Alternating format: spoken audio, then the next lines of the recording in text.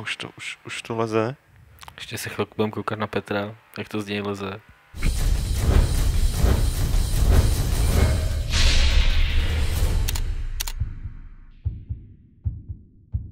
U 84. Fight Clubu vás vítá Pavel Dobrovský, se kterým ve studiu Games.cz sedí Petr Poláček. Ahoj Nazdar. Petře. Eh, Martin Bach, ahoj Martine. Čau. A náš speciální host Petr Pícha, eh, Ahoj. který už řadu let vlastně ty zajišťuješ, aby se v těch hrách, které hrajeme, objevovala, nebo aby tam zněla ta hezká hudba, která tam zní a my potom o ní mluvíme, jak byla pěkně nahraná. Ahoj. Ahoj. Budeme si teda povídat hodně o herní hudbě a o zkušenostech s jejím nahráváním, ale také o novinkách herního světa za poslední týden. A to znamená, že si podebatujeme o ďábelských událostech v Diablo 3, o oznámení Scrolls od Mochangu, o Far Cry 3 a o, a o průměrném hráči na Xbox 360 v České republice. A koukám, že Petr mi eh, dopsal ještě, že si budeme povídat o Mass Effectu 3, o rozšířených koncích. Eh, Připomínám, že na živé vysílání Fight Clubu se můžete podívat každou středu po čtvrté hodině na serveru Aunt TV a nebo si nás můžete poslechnout ze sestříhaného audiozáznamu, který se objevuje mezi čtvrtkem a pátkem na Games.cz. A teď ještě, než se vrhneme tady na Petra, Petře, ještě se rozdejchávej, eh, tak se zeptám eh, druhýho Petra, eh, jestli se na Games stalo něco takového, o čem by si rád popovídal. Jediný zásad, jediná zásadní věc, která se stala, byl v podstatě včera vydaný Diablo speciál, Fight Club speciál, ale já už tak nějak nevím, co k tomu dodat, vzhledem k tomu, že to vyšlo a lidi si sami můžou prohlídnout, co tam Lukáš se svými hosty v podstatě vymyslel. Uh, Já bych vám připomněl, že je to takový to mezi rodinový družení, nebo jak to nazvat, protože je tam Radek Friedrich, Je tam je tam Radek, a je tam Ellen Way. Přesně tak. Eh, Jako ohlasy sledujeme v diskuzi a tak různě. Já jenom připomenu, že čím víc budou konkrétnější a konstruktivnější, tím pro nás líp. Protože jak jsem tam psal, tak je to teprve druhý v podstatě jako speciální Fight Club po, po Mass Effectu a další určitě chcem dělat a, a ještě pořád se to teda jako tak nějak vyvíjí, takže, takže za jakýkoliv, za jakýkoliv podnět, podnět určitě budeme rádi, Pořád ale si to sedá. se dá si to, no, tak jako je to fakt podrý. A navíc slyším tam ty námitky a teda a teda. My jsme to dělali docela narychlo, nebo ne narychlo, bylo to zorganizovaný docela narychlo, týden po E3, kdy prostě Radek, Radek měl uzávěrku, myslím, že kluci ze Skore taky měli, uh, Honza Vrubel taky měl docela, docela napilno. Uh, Vojta Daněk přijel až z, z Ostravy, Co strane, no. až z Ostravy kvůli tomu.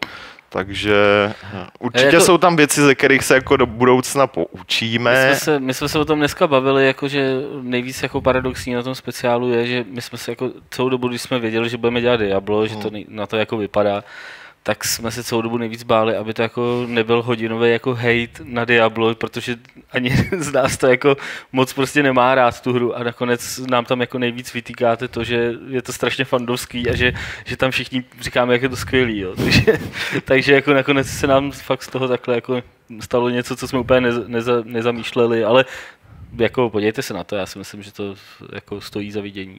Minimálně Radek je jako vždycky Minimálně vtipnej. Radek je vtipný. No.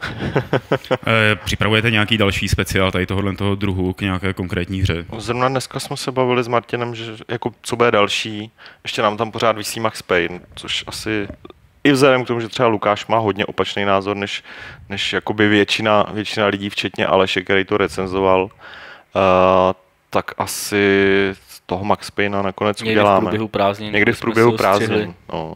Protože to samozřejmě to je další věc.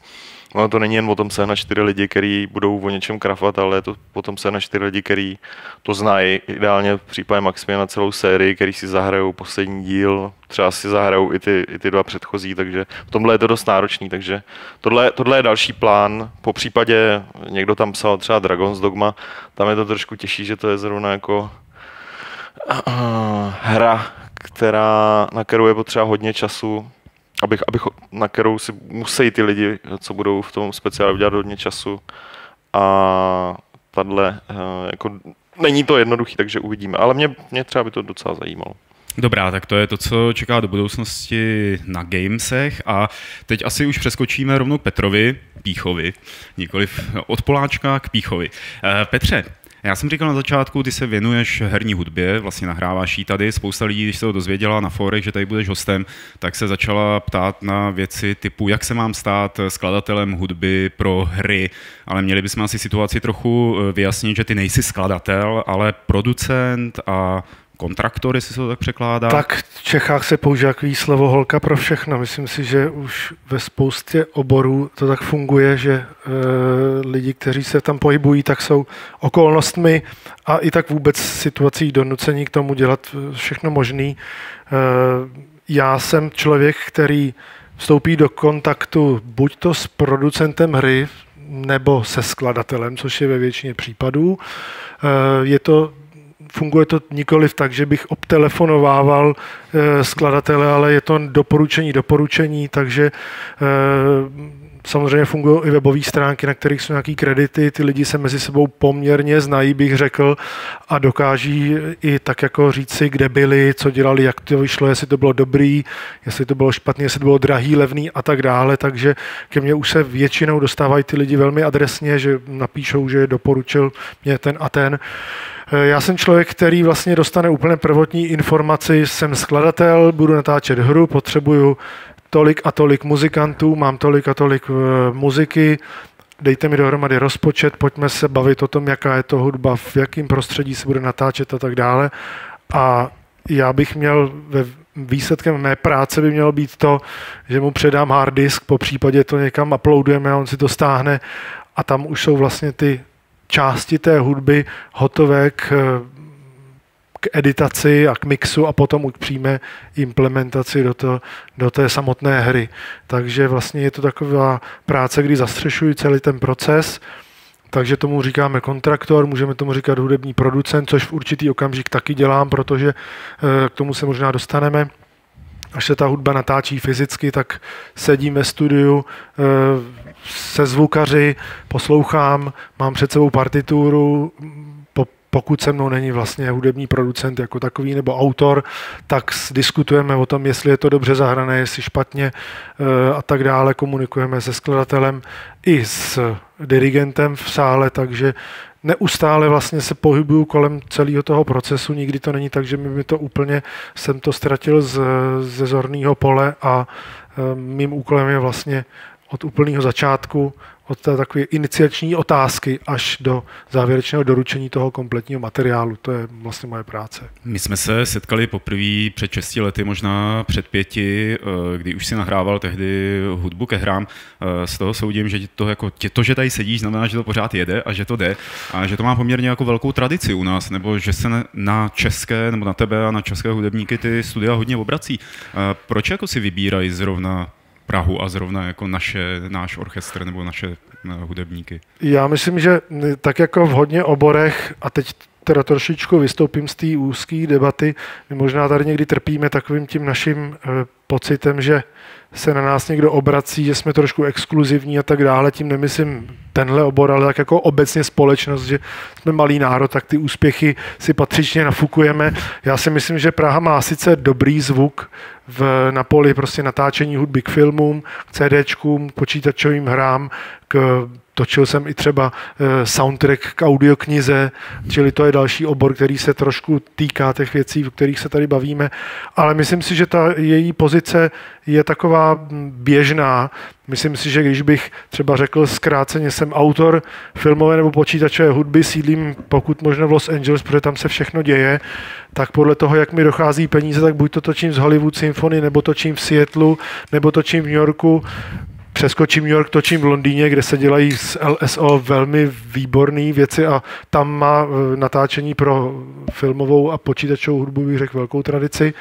A nebudu do Prahy. Praha je takový hlavní port v tom kontinentálním pojetí, kam ještě půjdeme dál, když nemáme třeba na Londýn a potom samozřejmě Moskva, Budapešť, e, Bratislava a tak dále. Čili Praha je jedním z těch míst, které přicházejí v úvahu samozřejmě ta konkurence je veliká, takže my musíme eh, vážit i to, jakým způsobem se ke každé té věci postavíme, aby jsme neprodukovali něco, co by potom, špatné slovo se šíří úplně nerychlejc, tak aby neřekli, jo, v Praze tam to zmrvili, tam už nikdy nepůjdu, protože jakmile jednou v jednu věc kazíte, tak pak přijdete ani o tom nevíte o třeba 10-20 potenciálních dalších klientů, kteří rádi sdílí tyhle ty hmm. špatné zprávy. Myslím, že Černá kronika je úplně úžasný biznis. Takže... Hele, ty jsi teď vlastně řekl, že jako eh, ty firmy teda jako ti zavolají vlastně a řeknou ti, jako vysnáš poslední naděje po té, co obvolali jako všechny ostatní. e, to, to, asi není tak úplně dobrý, že by třeba jako kvalita že jo, našich eh, hudebníků byla nějak levná. Ne, já jsem to nemyslel zase tak, to trošku byla nadsázka, to jenom, aby, aby si posluchači uvědomili, že samozřejmě konkurence je veliká a že Praha nestojí ani na vrcholu, ani osamocená, ale těch míst je spousta, ale myslím si, že co je zajímá, a my jsme se tady s klukama bavili před, před vlastně před tím, než jsme zapli červenou o Japoncích, tam to samozřejmě japonská herní hudba, vůbec celý to, to vy víte stokrát líp než já, tam se dělají desítky her za rok a to, že se tady jedna nebo dvě za rok japonský natočí, tak to je samozřejmě úspěch náš, který vnímáme my jako úspěch, ale ve smyslu globálním je to běžná záležitost. E, tam samozřejmě funguje to, že tam máte nějaký kontakt, který vás doporučí, který se pohybuje v tom prostředí. To samý funguje vlastně, mám člověka, který pro mě pracuje v New Yorku, když netočíme spolu počítačovou hudbu, ale spíše filmy, a je to o tom, že musíte mít někde pořád takového nějakého předsunutého pěšáka, který pro vás tu práci dokáže sehnat nebo aspoň doporučit ale úplně nejlepší samozřejmě, když si to ty skladatelé říkají mezi sebou, takže to je Hele, to pojď, nejdůležitější. Pojďme jako spíš ke konkrétním titulům, eh, aby jsme taky řekli třeba na čem si pracoval, nebo co si tady natočil eh, k nějakým takovým těm výraznějším a na co se řekněme jako nejvíc pišný, jestli to vůbec podařilo zorganizovat. No, myslím, že z těch posledních asi Darkness 2, což byla věc, která nám zabrala loni eh, asi nejvíc času, protože jsme točili hudbu samotnou někdy v, v Dubnu Potom jsme dělali ještě trailer, teaser a tyhle ty všechny věci okolo a zabývali jsme se tím potom ještě asi ve dvou dalších frekvencích někdy na, pos, na podzim. To byl Tim Win a ten byl v Praze v Dubnu, potom už jsme to dělali jenom po internetu, což je mimochodem další zajímavá zajímavý feature tady té věci, že se to dneska vyvíjí vlastně tak, že ty lidi nemají čas strávit 18-20 hodin v letadle na cestě s Los Angelesem, ale prostě jsme na internetu a pomocí různých programů natáčíme vlastně z obýváku přímo do koncertního sálu třeba, takže ten člověk sedí u sebe doma a má sluchátka nebo lépe řečeno má prostě ve svém audio studiu a my mu streamujeme live v záběry vlastně z Rudolfína, kdy on slyší přesně to samé, co slyšíme my a můžeme se o tom bavit a, a je to vlastně tak, že je tam s náma, i když ho fyzicky vlastně vůbec nevnímáme. Ale zpátky k tomu, k těm v úvozovkách úspěchu, myslím si, že e, navázal jsem kontakt s jednou německou velkou firmou Dynamedion, který dělají hodně mm, audio pro počítačové hry a na poslední dobou jsme spolu dělali třeba věc, která asi je trošičku pod věkovou, věkovou hranicí vašich posluchačů nebo vašich příznivců a to je, to je Kinect Rush, což vlastně jsou pixarovský uh, filmy čtyři, mm-hmm. které jsou takhle sprsklí do jedné do jedné velké hry, uh, nebo z těch japonských asi Dissidia 012, což je vlastně taková odnož Final Fantasy, to si myslím, že z hlediska kreditů mých v Japonsku je asi velmi podstatná informace. No ale z těch, na který jsem hrdý, to je určitě Mafie 2, to je domácí produkce a tam s klukama to bylo bezvadný. A ještě jedno jméno, který bych zmínil, který oba dva známe, Andy Brick, což je vlastně skladatel a dirigent s kterým my jsme udělali těch pět koncertů v Lipsku, což tenkrát v roce 2003 byl absolutní, to, to byla hitovka, protože do té doby se vůbec po světě žádný koncerty počítačové hudby, kromě Japonska, nedělali a my jsme byli první ještě s Tomasem Beckerem, který to vlastně na tom, na tom eh, herním festivalu nebo na tom veletrhu v Lipsku začali dělat a dělali jsme to pětkrát po sobě, což považuji za úspěch a myslím si, že to otevřelo eh, i v Evropě a po světě trošku dvířka takovým těm věcem, jako je Final Fantasy, jako Dear Friends a tak dále a vůbec všechny tyhle věci, mm-hmm. které se potom eh, začaly šířit a jsou úspěšné. Můžu se něco zeptat, eh, jenom uh, dost často se ta hudba natáčí vlastně dřív, že třeba než eh, je ta hra oznámená, jako a dost často, nebo stává se občas, že to info o té hře pronikne prostě mezi lidi právě přesto, že se jako natáčela hudba. Jestli No to právě je, stalo. to je to, co se právě, to je, když točíte hudbu pro CDčko nebo pro filmy, tak je to takový většinou, jako všichni vědí, že se točí ten film a je většinou oznámeno, kdy to asi bude. U těch filmů se do toho většinou ty producenti trefí. U těch her si myslím, že se do toho většinou netrefějí. Ty důvody jsou jasný, tam je to asi víc o všelaký technice a tak dále, o tom zkoušení. Takže my natočíme muziku ke hře, o který já ještě rok, rok a půl třeba musím mlčet. To jsou výborný telefonáty, když volám Petrovi a ptám se ho, tak na čem pracujete? Na hře? A Petr tak jako, mm, mm, mm, mm, na jaký? Nemůžu, nemůžu. Dobře, za rok se dozvím, že něco prováděl. Jako No, nějakou tak velikou- eh, hlavně speciálně zase, že jsem u těch Japonců pořád, ty jsou na to úplně šílený. Jednou se mi podařilo, že jsem se pochlubil na webovkách a už druhý den prostě mi jsem dostal z po e-mailu, ať to okamžitě stáhnu, protože hra nebude ještě rok někde venku. Jo. Takže, stíhačky, jako takže eh, tam, je to, tam je to opravdu takový, že, že to, co se natočí v roce 2011, tak to rok 2012 ještě ani neví. Jo. Takže Ty se pořád vracíš k tomu Japonsku a k těm Japoncům. Dovedu si představit prostě jednání třeba tebe a Američana, Angličana, Francouze. Eh, Je to jednání s Japoncema nějakým způsobem specifický? Já myslím, že jo, že to je takový, co si všichni tak jako představujeme, že to je střed těch dvou kultur, že se pořád ukláníte. Já mám pocit taky se poklonit níž, protože ten, kdo se pokloní níž, tak to znamená, že je větší takový, jako jak bych to řekl, že prostě je větší nula. Jo, je to takový vz- vzdání, vzdání úcty těm druhým. Já to myslím trošku v legraci, ale, ale myslím si, že se snažíme všichni tohle respektovat. Eh, Práce pro Japonce je docela prestižní a myslím si, že to je jako úplně nejtvrdší, co může být, protože oni nám vůbec nic nedarujou a když je, třeba někdy si děláme srandu, že Němci by točili do za minutu 6, tak to u Japonců hrozí spíš to, že budeme dotočit do půl sedmi a oni si pořád budou myslet, že jako je to v pořádku. To, že by se zaplatili nějaký přesčasy, to o tom se vůbec nebavíme. Myslím, že to souvisí opravdu s konceptem té jejich společnosti a, a my se snažíme tohleto taky nějakým způsobem jako zachytit, když těm muzikantům to těžko vysvětlíš, takže to jde většinou potom na moje, na moje konto, tyhle ty extrasy. No. Takže, ale jinak si myslím, že jsou to velmi, velmi eh, korektní, velmi, velmi jako informovaní a velmi přičinliví eh, klienti, kterých si hrozně vážím a, a pak jsem rád, že mám někdy trošku volno třeba s těma američanama nebo s francouzima, když točíme filmy, tak to je prostě, myslím, že ty takový ty společenský zjednodušení fungují v každém oboru, takže i v této oblasti. Hele, ty máš vlastně, máš tam skladatele, nějakého třeba hudebního producenta, seš při tom nahrávání sám a pak tam máš několik desítek lidí eh, v orchestru. Eh, Máš pocit, že by ten orchestr, nebo že by ty lidi v tom orchestru tušili, že dělají třeba pro hru, nebo baví je to třeba hrát pro hru víc, než já nevím, nějakou klasickou kompozici? Ono se to nějak jako, eh, jak bych to řekl, refinovalo, rafinovalo už jako v průběhu, když třeba si uvědomíme, že v tom našem orchestru hrajou lidi z České filharmonie, z orchestru FOK, z Českého rozhlasu, to jsou prostě nejlepší muzikanti v tomhle státě, v tom oboru klasické hudby.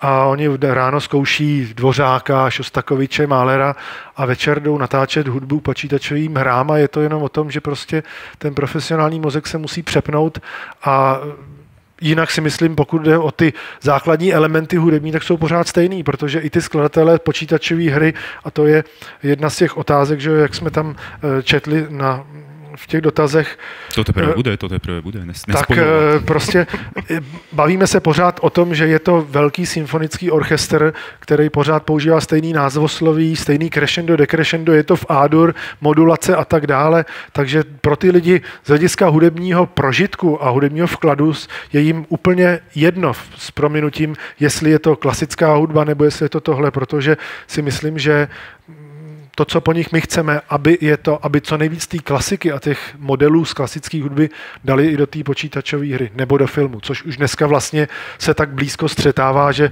filmy jsou hry a hry jsou filmy, tam už vlastně jde o jedno a to samé, i když třeba z hlediska toho, kdo dělá hudbu k počítačové hře a kdo dělá hudbu k filmu, to jsou většinou Hmm. rozličné osoby, týká se to taky toho, jak se liší hudba k filmu a k počítačové hře z hlediska toho, o co tam vlastně jde, filmu je třeba 70 minut hudby a kdyby se natočila počítačová hra na základě takového filmu, tak tam může být třeba i 150 minut, protože víme, že ten děj se větví jako strom, když to ten film je víceméně hmm. lineární záležitost, takže i logicky, matematicky té hudby tam musí být mnohem víc.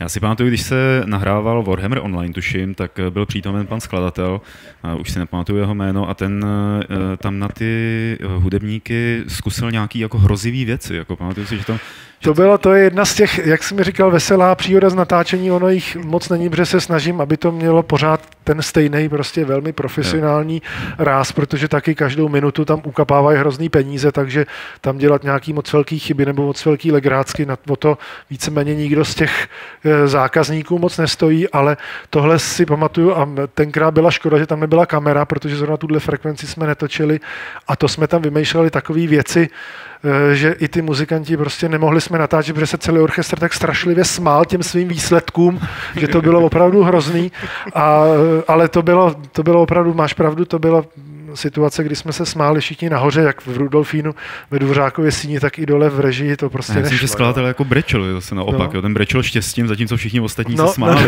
No, no, no, no, no, no.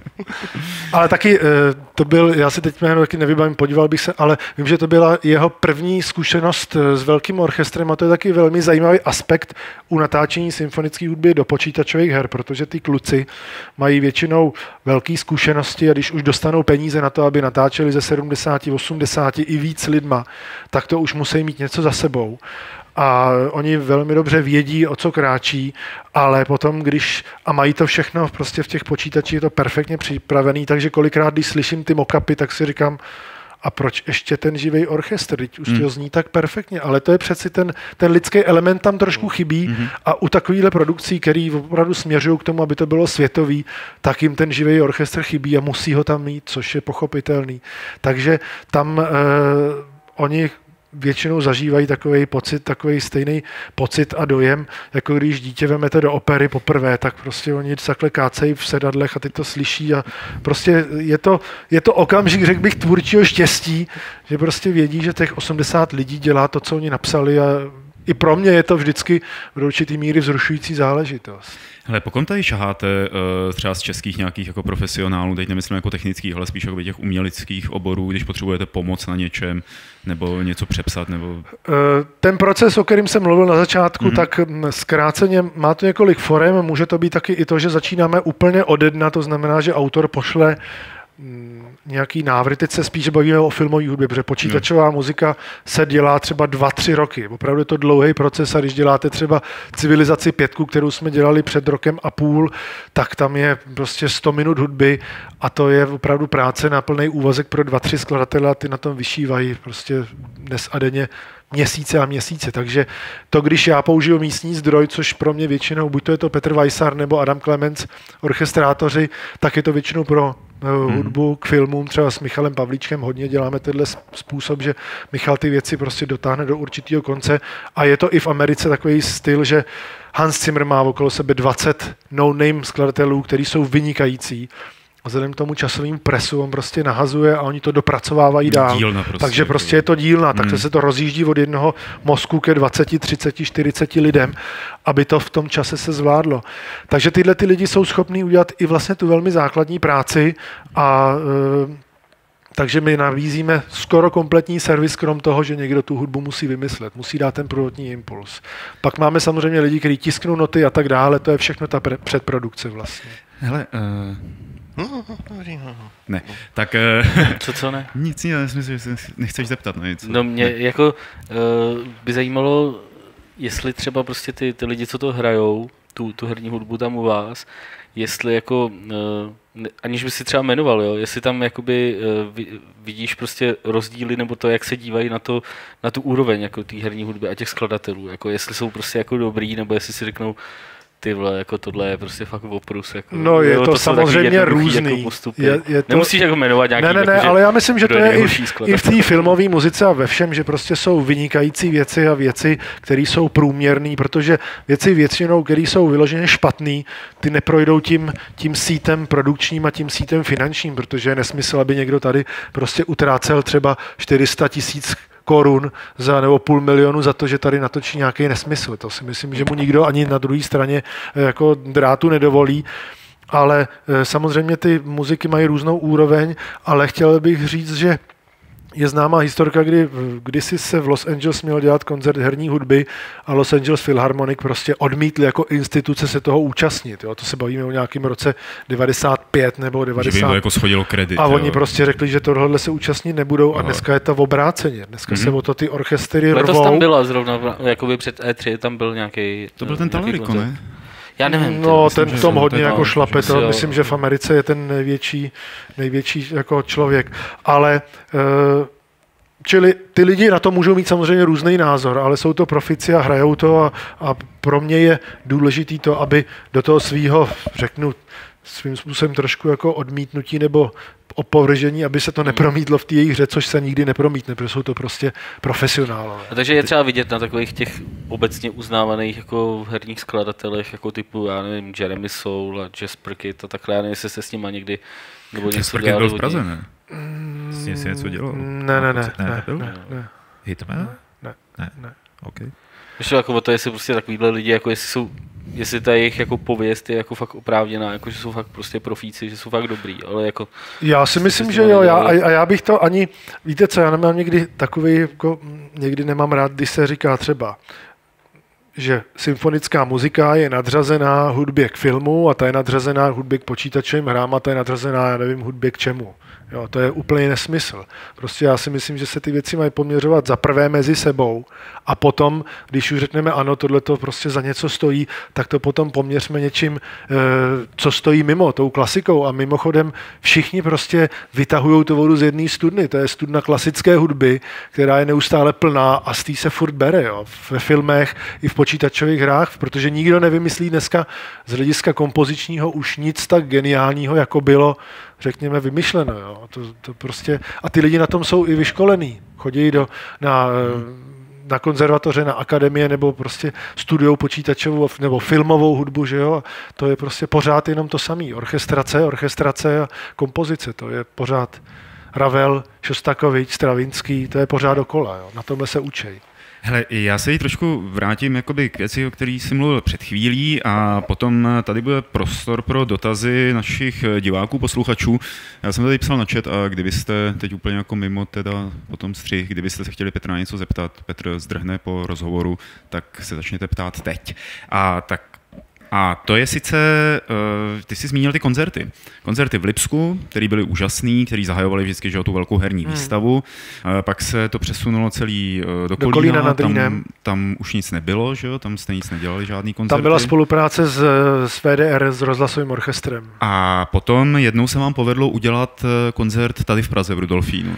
To se nepovedlo mně, to se povedlo Arny Rotovi, což je skladatel a dirigent, s kterým já taky spolupracuju a to je vlastně uh, dirigent uh, té sestavy nebo toho, toho projektu Dear Friends a oni udělali jeden tenhle koncert tady v Praze a myslím si, že to nemělo moc úspěch uh, z hlediska návštěvnosti. Myslím si, že primárním zájmem produkce bylo v tomto krásném sále natočit DVD. Aha, aha. Takže myslím si, že ten, já jsem toho tenkrát se neúčastnil, ten člověk, který tomu dělal, který byl v mé pozici, tak se nezabýval ani tak moc tím velkou inzercí, aby tam dostal diváky a tak dále, což si myslím, že byla škoda, protože i na ty muzikanty to působí pochopitelně. Když je vyprodaný sál, je to něco jiného, než když jsou třeba dvě třetiny prázdný, ale tak bych to tak považoval jako za takový nultý pokus, ale mm, je to otázka peněz, protože... A pro tebe je to třeba otázka i toho, že bys něco takového chtěl udělat, nebo zajímalo by Já tě jsem něco takového chtěl udělat v době, toho, kdy jsme rozjížděli Lipsko a kdy to bylo ještě třeba dva roky po Lipsku, tak jsem o tohle to stál, ale musím říct, že bez velkého sponzora, který by do toho vložil třeba řeknu milion korun, tak to vůbec nemá smysl, protože ten, ty náklady provozní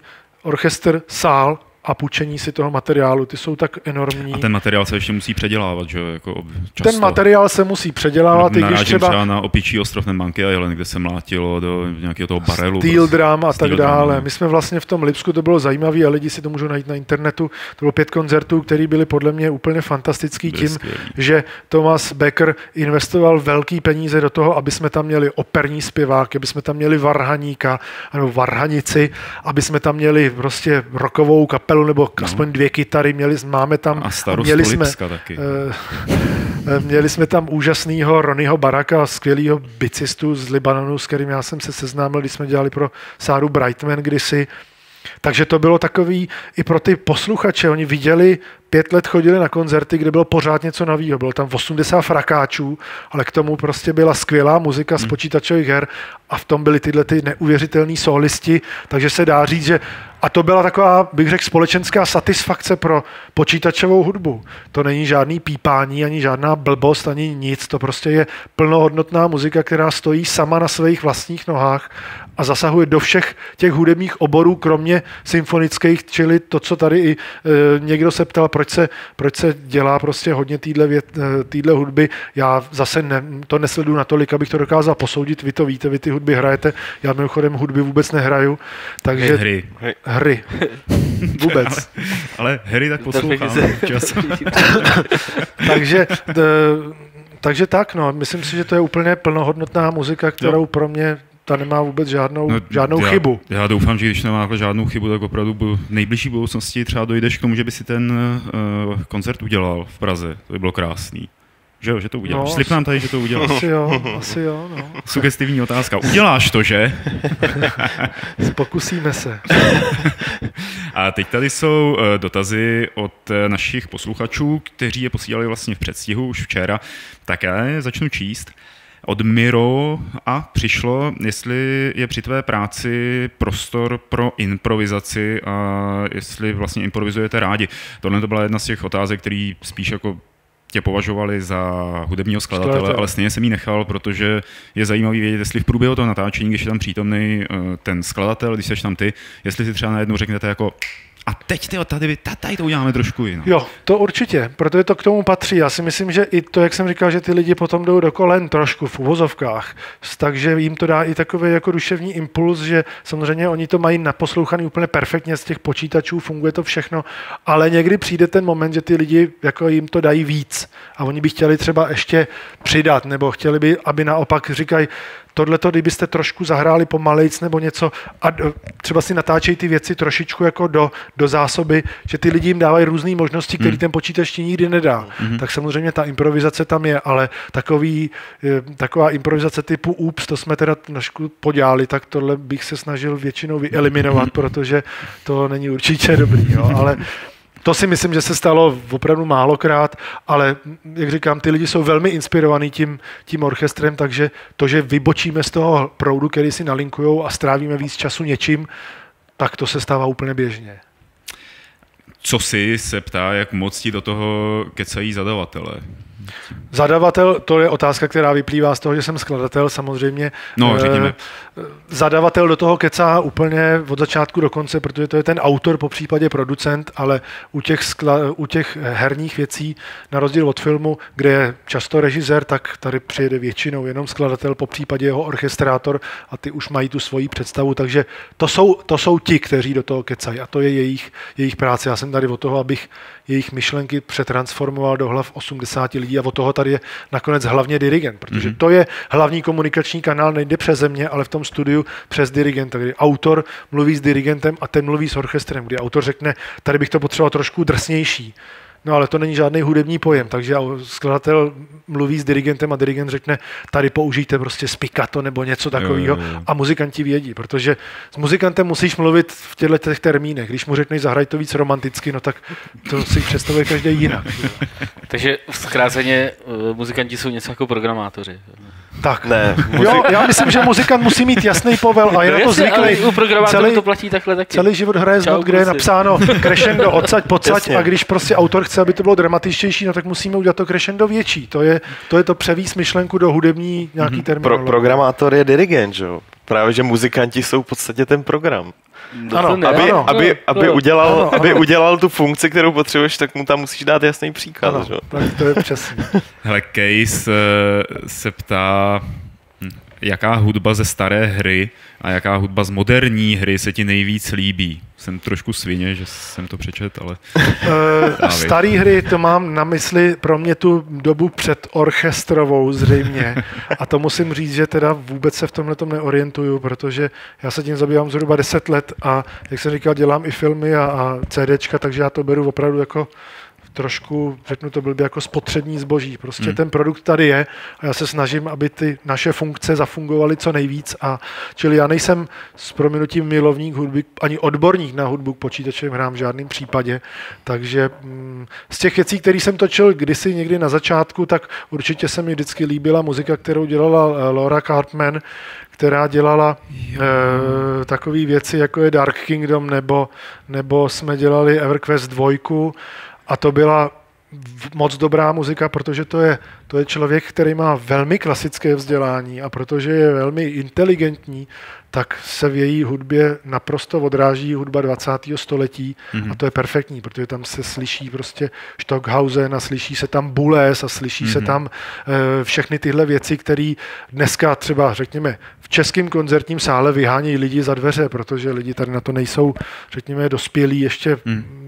Příliš na to, aby to konzumovali. A přitom ale ty hry, eh, ty hudby, které natáčíš, eh, tak ty spíš inklinují jako k té absolutní klasice, že nebo jako co rozumíme. Klasikou klasika. rozumíme Že jo, filmovou Jako, muziku. no, ale jakoby, že čerpají třeba, řekněme, z toho 19. století nebo 18. tady z těch starých, eh, starších věcí a brát jakoby tu současnou hudbu nebo to 20. století to se tam moc neobjevuje, ne? Nebo to nemají rádi zase. No, no a myslím, že 18 to už je jako hodně spíš taková ta romantická Hmm. hudba v tom pojetí, jako jak to zorchestrovat a tak dále, ale, ale tím, že se hodně hraje dneska vlastně už i třeba do, do, do kapel, do, do písníček, který se zorchestrují a to je třeba když děláme metalovou muziku, tak to velmi připomíná prostě hudbu k počítačovým hrám. Jo?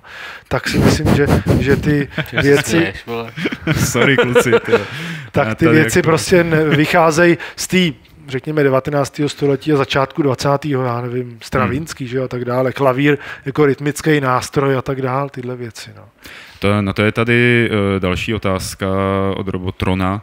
Uh, proč se v dnešní době nahrává samá epická hudba s orchestrem a používá se ve hrách tak málo písniček a ještě méně zpívaných, jestli k tomu máš co říct? Jestli No třeba... tak to je, to je otázka spíš tady na pány, nebo na vás tři, kteří ty e, počítačové hry hrajete, čili já nemůžu vůbec Jinak, mluvit. eh, nahráváš písničky do her, nebo děje se to, že by v rámci... Ne. Ne, ne, ne, ne.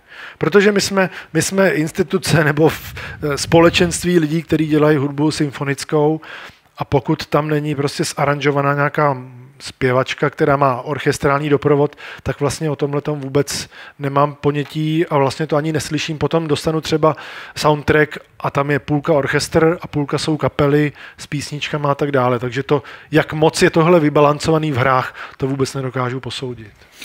Pak jsou tady další otázky, které přišly z Facebooku, hodně se dublují buď s tím, na co se eh, ptali teď ty lidi, anebo s tím, na co jsme se ptali ještě předtím. Ale je tady jedna taková zajímavá od eh, Maroše Goče, eh, který by se chtěl zeptat, co má dělat, jak se má prosadit, když se chce stát hudebním skladatelem pro hry. A nechce odpověď typu začni skládat skladby a děkuje pěkně. No, tak je, kdybych, kdybych věděl na tohle nějakou odpověď, která by se potom ne- dala, na, dala potom splnit, nebo dal bych takový návod, který by byl úspěšný, no tak bych asi přestal, přestal natáčet muziku a dával bych jenom rady. Ale vůbec nemám představu, jak vlastně z českého prostředí se Slovenskýho v tomto případě. slovenského prostředí. Myslím, že se, eh, jestli na to může někdo odpovědět, tak Matuš Široký, který dělal muziku k, k Mafii dvojce, Mhm. a ten, to je pro mě vlastně eh, skladatel český, který se prosadil, řekl bych, s- na tom jako poli Hmm. světovým spolu s tou hrou, takže to, to je otázka spíš asi pro něj, jinak si myslím, že ty lidi prostě většinou, ty, s kterými já se setkám, tak třeba vystudují uh, Univerzitu of California Los Angeles Film Music Department a to je třeba, anebo Berkeley, Hmm. nebo něco takového, takže prostě Myslím, že u nás Studovat- je to dost stejný. Jako. Mm. Jasně. Kon- konzervatě Já myslím, nemine. že to je vyčerpávající odpověď. Eh, Martine, zeptal se někdo na něco na chatu? Ale je tady v podstatě, oni tady dost trolujou, takže je tady jenom jeden, jeden dotaz, jako, který stojí za něco. Uh, Miru se ptá, jaký, pro, jestli to budeš moc říct, teda, ta, ta je otázka, jaký projekt, na kterém si pracoval, byl uh, dosud nejdražší a případně kolik stál? No teď nedávno jsme dělali věc, kterou nemůžu říct. Ale, ale no tak. Ale byla hodně drahá, nemůžu říct, kolik Ne, já myslím, že tak nejdražší asi, nejdražší to je tak kolem asi milionu Hm. Čeho? korun. Korun. Ta, ta muzika eh,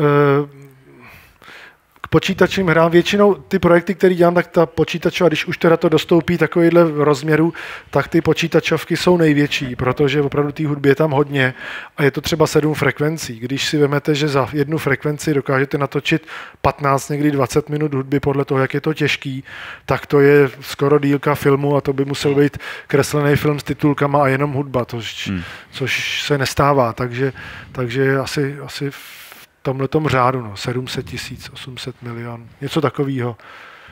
A je to opravdu zapojení potom 80-90 lidí. Jo. A můžeš jmenovat, eh, nebo můžeš uvíct na jaký hře, o který smíš mluvit, si naposledy pracoval? No to jsou asi ty, co jsou na webu, takže asi já nevím, Darkness 2, nebo ta, Dobře. to ano něco čerstvého 2070. právě, třeba... Teď jsem žadonil o, o nějaký info, ale nebyl jsem, nebyl jsem uvolněn, takže asi dvě nebo tři, dva nebo tři tituly jsou vlastně zaparkovaný někde, Mhm. mm-hmm. čekají na zveřejnění. No. Ještě něco tam je? Ne.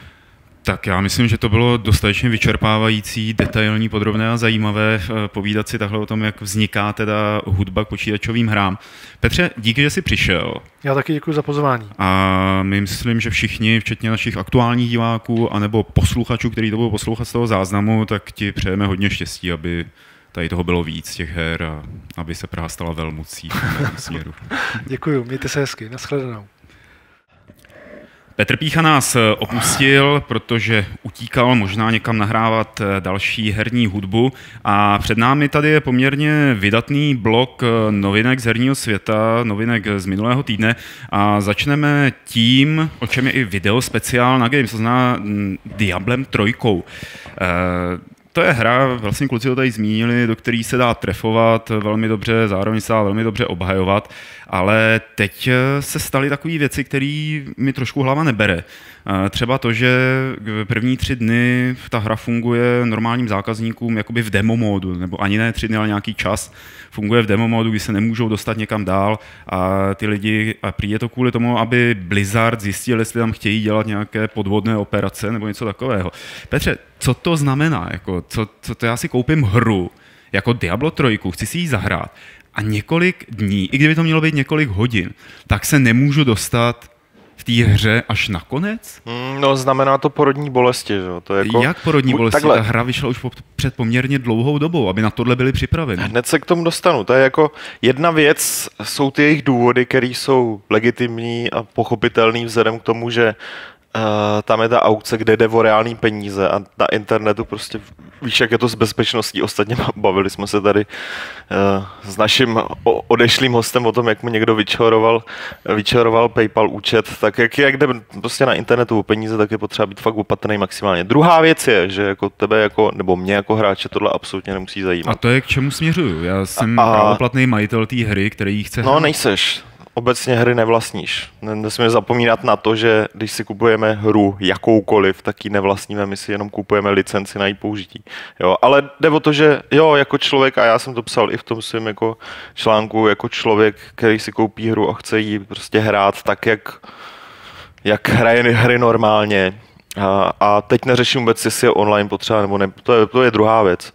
Uh, tak uh, pokud mě potká tady tohle, pokud prostě zjistím, že nějakou dobu, ať už je to hodina, dvě, eh, den, dva, tři, to je pak už taky úplně jedno, to prostě nemůžu hrát naplno, tak eh, logicky prostě budu velmi nespokojený a budu chtít vrátit, eh, budu chtít vrátit peníze, což třeba u nás moc nejde. Ty můžeš jít za prodejcem a ti vrátí peníze, záleží na jeho dobré vůli, jestli, ti to uzná nebo ne.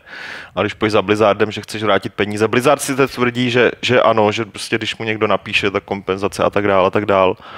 Ale není to jeho povinnost na rozdíl třeba od, od Jižní Koreje. K tomu se Vydrž, ještě vydrž, k tomu se ještě dostaneme, protože eh, když jsem si tohle to přečetl, tak mě to rozčílilo. Eh, Nezávisle na tom, jaký mám názor na tu hru, nebo jestli Hmm. jsem ji jako hrál a dohrál, tak mě rozčílilo, že eh, Blizzard si dovolí takhle jako ta vyjebávat eh, s Takhle, lidma, takhle to, není, jsou jeho to, není, to není vyjebávání s lidma. Jo, z mýho pohledu to není vyjebávání s lidma, z mýho pohledu je to prostě ne, nepřipravenost. To není, ne, Neslušnost. ne neslušné. Já bych tam vůbec jako věci jako týkající se nějakého chování nebo morálky vůbec neplet, jo, protože oni obe, obecně reagují prostě rychle na jakýkoliv problémy, když jim napíšeš na podporu, tak reagují, jo. Tam, jde, tam fakt nejde o nesluš, tam jde o to, že nebyli připravení, jo, nebyli, nezvládli úplně launch, nezvládli, nezvládají prostě ho teďka i po 14 dnech, nepočítali s tím, že to bude asi tak velký, já prostě nevím, ať mají jakýkoliv důvody, tak, to... tak tohle je jakoby profesionální pochybení. To není jakoby neslušnost. To bych tam fakt vůbec eh, jakoby nemíchal, jo. Tam jde, tam jde, tam jde o to, že ty bys měl možnost říct, hele, to prostě nefunguje, já chci zpátky peníze, tady máte svoji hru a nazdar bazar. Uh, To by mělo fungovat. A já jako Obecně to nefunguje u her, alergický na veškerý argumentování těchto těch věcí, jako oni si to můžou dovolit, nebo oni na to mají peníze, nebo Ne, oni to- tím to jako... ne. Oni, jako money talks, jo. A to, to mě jako trošku vadí tady u tohohle toho. To- To... A naště, jako fakt, když jsem se četl, tak jsem si říkal, co pak neexistuje třeba u nás nějaká zákonná ochrana zákazníka, protože i když si to pronajímáš, tak pořád si jako seš zákazník. Uh, neexistuje nějaká zákonná ochrana, Martine, která by lidi, lidem garantovala nějakou třeba možnost, já nevím, zažalovat Blizzard. Nebo... Hele ty, no ne, tak zažalovat Blizzard určitě ne. Tohle jsou jakoby uh, věci, které se týkají jako ochrany spotřebitele, že. A tohle to je asi, uh, tohle by se prostě, podle mě by to musel nejdřív někdo zkusit, jo. A, a prostě zkusit třeba úřad na ochranu spotřebitele a dát tam nějakou takovouhle stížnost. A e, já jsem teď ještě před podcastem jsem si hledal něco e, o tomhle na netu a zjistil jsem, že třeba v Americe tohleto řešili pár let zpátky, zhruba nějaký dva, tři roky zpátky byla taková smršť jako blogových e, příspěvků, e, kde právě potom, co nějaký úřad, e, právě takový ekvivalent toho našeho úřadu pro e, ochranu spotřebitele prohlásil, že lidi na to mají právo.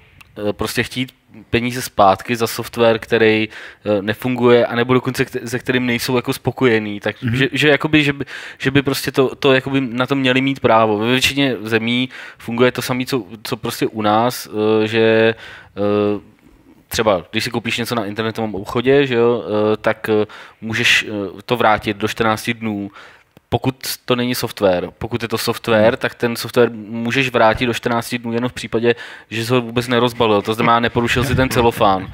Jo, pak ho můžeš vrátit, když ti někdo dá jakoby nevhodný dárek nebo něco takového, ty to ani nerozbalíš, tak to můžeš vrátit. Jakmile to rozbalíš, tak je to braný jako znehodnocený. Jakože eh, že ty si z toho mohl si obsat ten klíč, jo, nebo prostě něco takového, jako mm, je to ochrana evidentně proti, proti těm těm věcem, že jo. Takže v té Americe taky na to, taky jakoby nějaký ten úřad dal, dal prostě takovouhle tu, takovouhle, uh, takovýhle vyjádření. Uh, oni pak uh, a zároveň ty lidi se začali teda tím pádem tak trošku to zkoušet na ty, na ty obchody, jako Best Buy a prostě další Walmart takhle.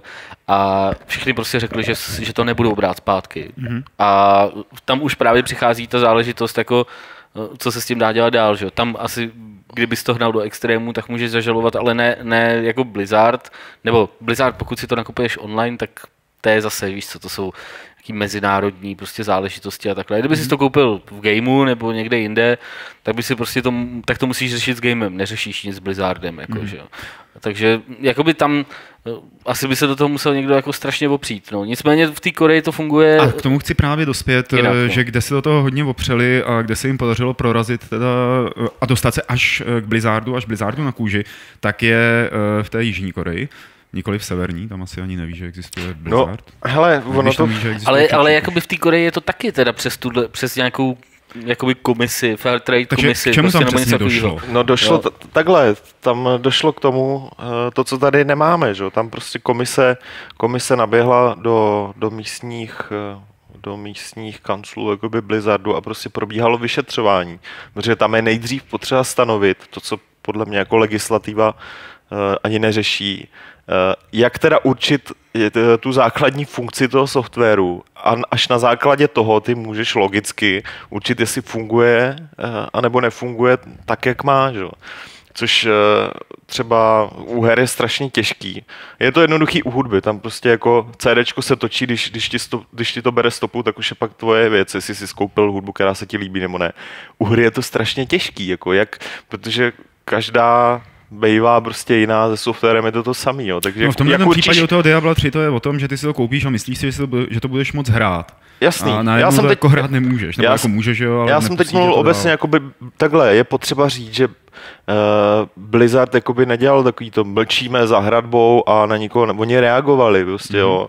Řešili problémy s těma lidma všechny, který, o kterých jsme tady mluvili, který se pro, probírali, tak prostě Blizzard je jakoby řešil aktivně s těma lidma a teda a teda. Tady došlo jenom uh, k tomu, že Eh, ty místní úřady v Koreji vyloženě eh, dali ultimátum jakoby Blizzardu, jakoby nějaký oficiální, že to teda musí řešit nějakou oficiální cestou a musí to zveřejnit, eh, jsou takové a takové podmínky a ne, že to jako řeší individuálně, jo. takže tam podstatě... No tak prostě tam to začalo totiž podobně hmm. jako to, co jsem říkal, že jo. No. začaly no. se tam scházet prostě stížnosti no, přesně. Na, tu, na tu jejich prostě, na tu jejich organizaci, prostě ochrany zákazníka no, no. a oni, oni to následně začali řešit a, a pak vydali takovýhle rozhodnutí a Blizzard se podle toho zařídil, že No, jasně. Samozřejmě nemusel, že jo, ne, jako by mohl, mohl to prostě dál jako říct, ne, my s tím jako nesouhlasíme a mohl tam probíhat nějaký a to prostě by si asi dlouhý soud, že jo, ne, to už je v podstatě to je, jako to je, Blizzardistán. Takhle je, fakt otázka, je fakt otázka, kolik, kolik jakoby lidí se tam, se tam prostě do toho já si, já si hlavně myslím, že, že uh, Blizzard uh, by jakoby do nějaký konfrontace nešel nikde na světě. Jo. Oni v podstatě není důvod, není důvod, proč by to dělali, že? protože většina lidí, i když nadávají nebo nenadávají, tak, eh, tak už tu hru buď to dohráli a už na ní kašlou, a nebo ji prostě hrát budou, protože ji hrát hmm. chtějí, jo, jenom je prostě štve, uh, jak ten začátek celý probíhal. Já osobně čekám, že Blizzard prostě za nějaký čas, až to teda bude nějak OK, tak to bude těm svým hráčům jakoby kompenzovat prostě nějak v obsahově a tedy a tedy. Ale eh, bavili jsme se tady, když ještě než byl ten speciál, tak přijel uh, Vojta Daněk, že jeden z těch lidí, co tam hovoří, tak přijel z Ostravy, tak jsme šli na oběd a tak dál. A v podstatě jsme došli k tomu, že uh, je neuvěřitelný, a to není jenom Blizzard, to jsou úplně všechny od první do poslední firmy, které dělají hry, které eh, jsou nějak, jakoby, mají nějaký onlineový prvek, nebo jsou to vyloženě onlineovky.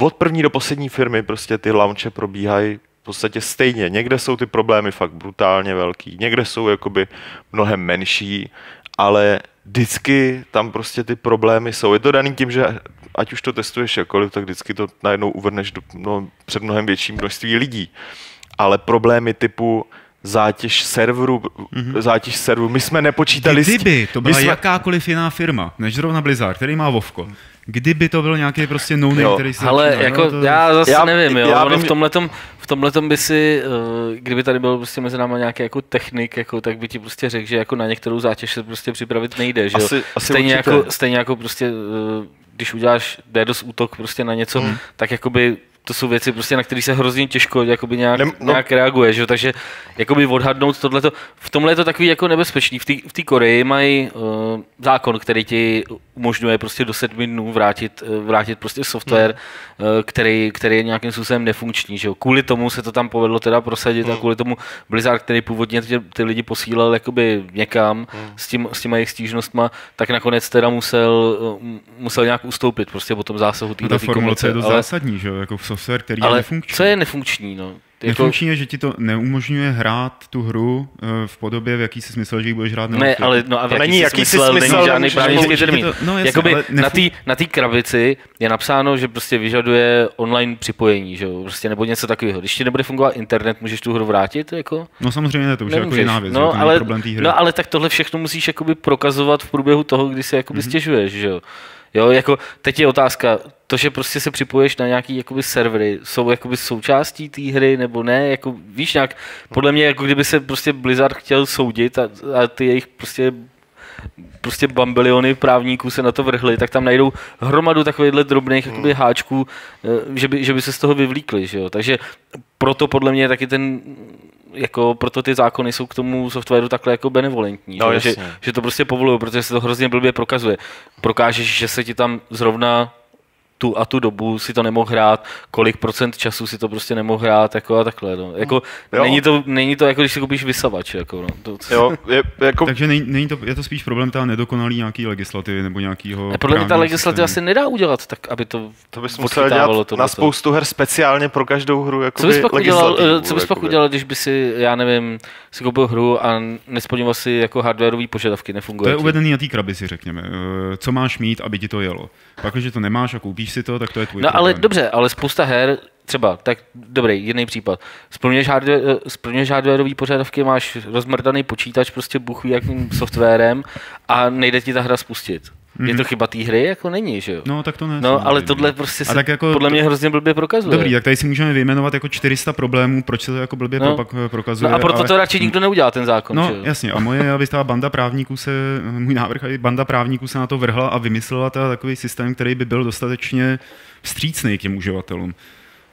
A musí být zároveň stříc. To nemůže být střícnej vůči někomu. Právo musí být rovný, že? Musí to být rovný, no. To- jako, jo, tam- jako bylo by fakt, jako víš co, třeba prostě peče, jako, že jestli hra nejde, teď je otázka, jako jak by si rozlišil, hra nejde jako hrát, to je prostě jasný, jako něco, co se stalo Blizzardu a proto se tady o tom taky bavíme, že, že to byl fakt Hmm. průser, že si to fakt nemohl hrát.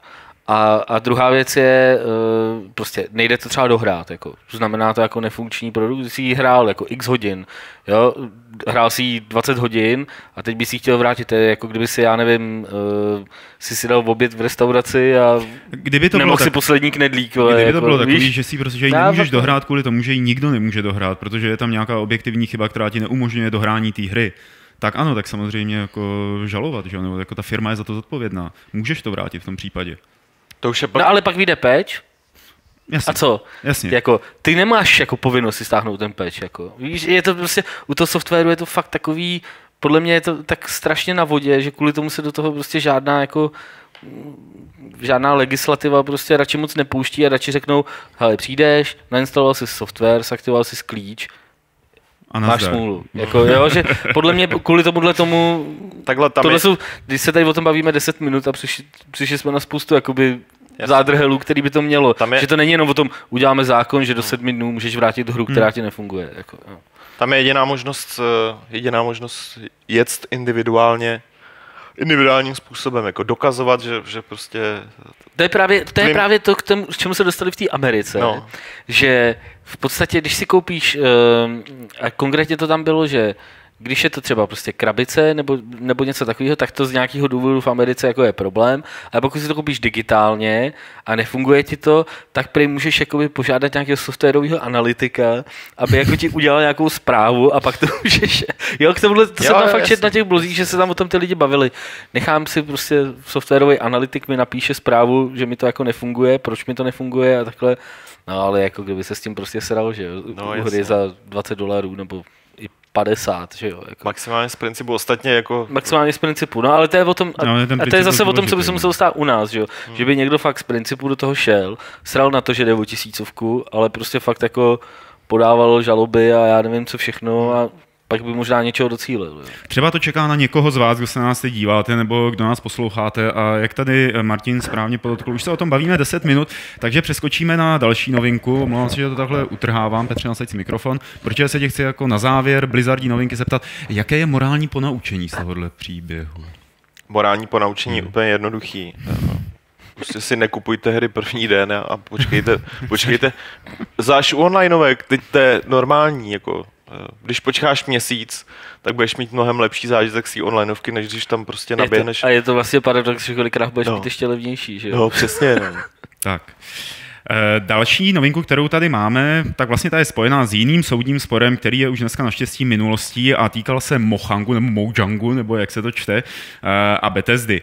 Eh, Noč, vlastně tvůrce Minecraftu, si totiž zaregistroval značku Scrolls a Bethesda po něm šla, protože jako to bylo křížení z jejich Elder Scrolls a nelíbilo se jim to, tak to si naštěstí kluci vyříkali. A my jsme dlouho o Scrolls věděli. Věděli jsme, že se na tom dělá, ale vlastně jsme nevěděli, co to je. Co to věděli, bude? ale neviděli. Ale neviděli, neviděli jsme, jak to bude vypadat, jak to bude fungovat. Martine, co to bude? No, je to přesně hra, která mi nic neříká. jako takhle, takhle, jako, takhle obchází. Takhle to řeknu úplně na rovinu, tam mě přesně takhle obchází. No. Je to prostě kartičková sběratelská záležitost s tahovýma soubojema ale Heroes of Might and Magic a tak podobně. A já nevím teda, no, já jsem, já jsem od toho čekal, já jsem o té hře nic moc jakoby nevěděl předtím. Čekal jsem od toho, že to bude trošku nějaký nápaditější, nebo jak bych to řekl, jako že Mohlo od toho by... noče bych čekal, ono to možná bude dobrý. Jako, Zvlášť jako po Minecraftu, že, no, který byl no, vizuálně bacha, vlastně úplně bacha, jako je potřeba říct, že tohle není jako jeho hra.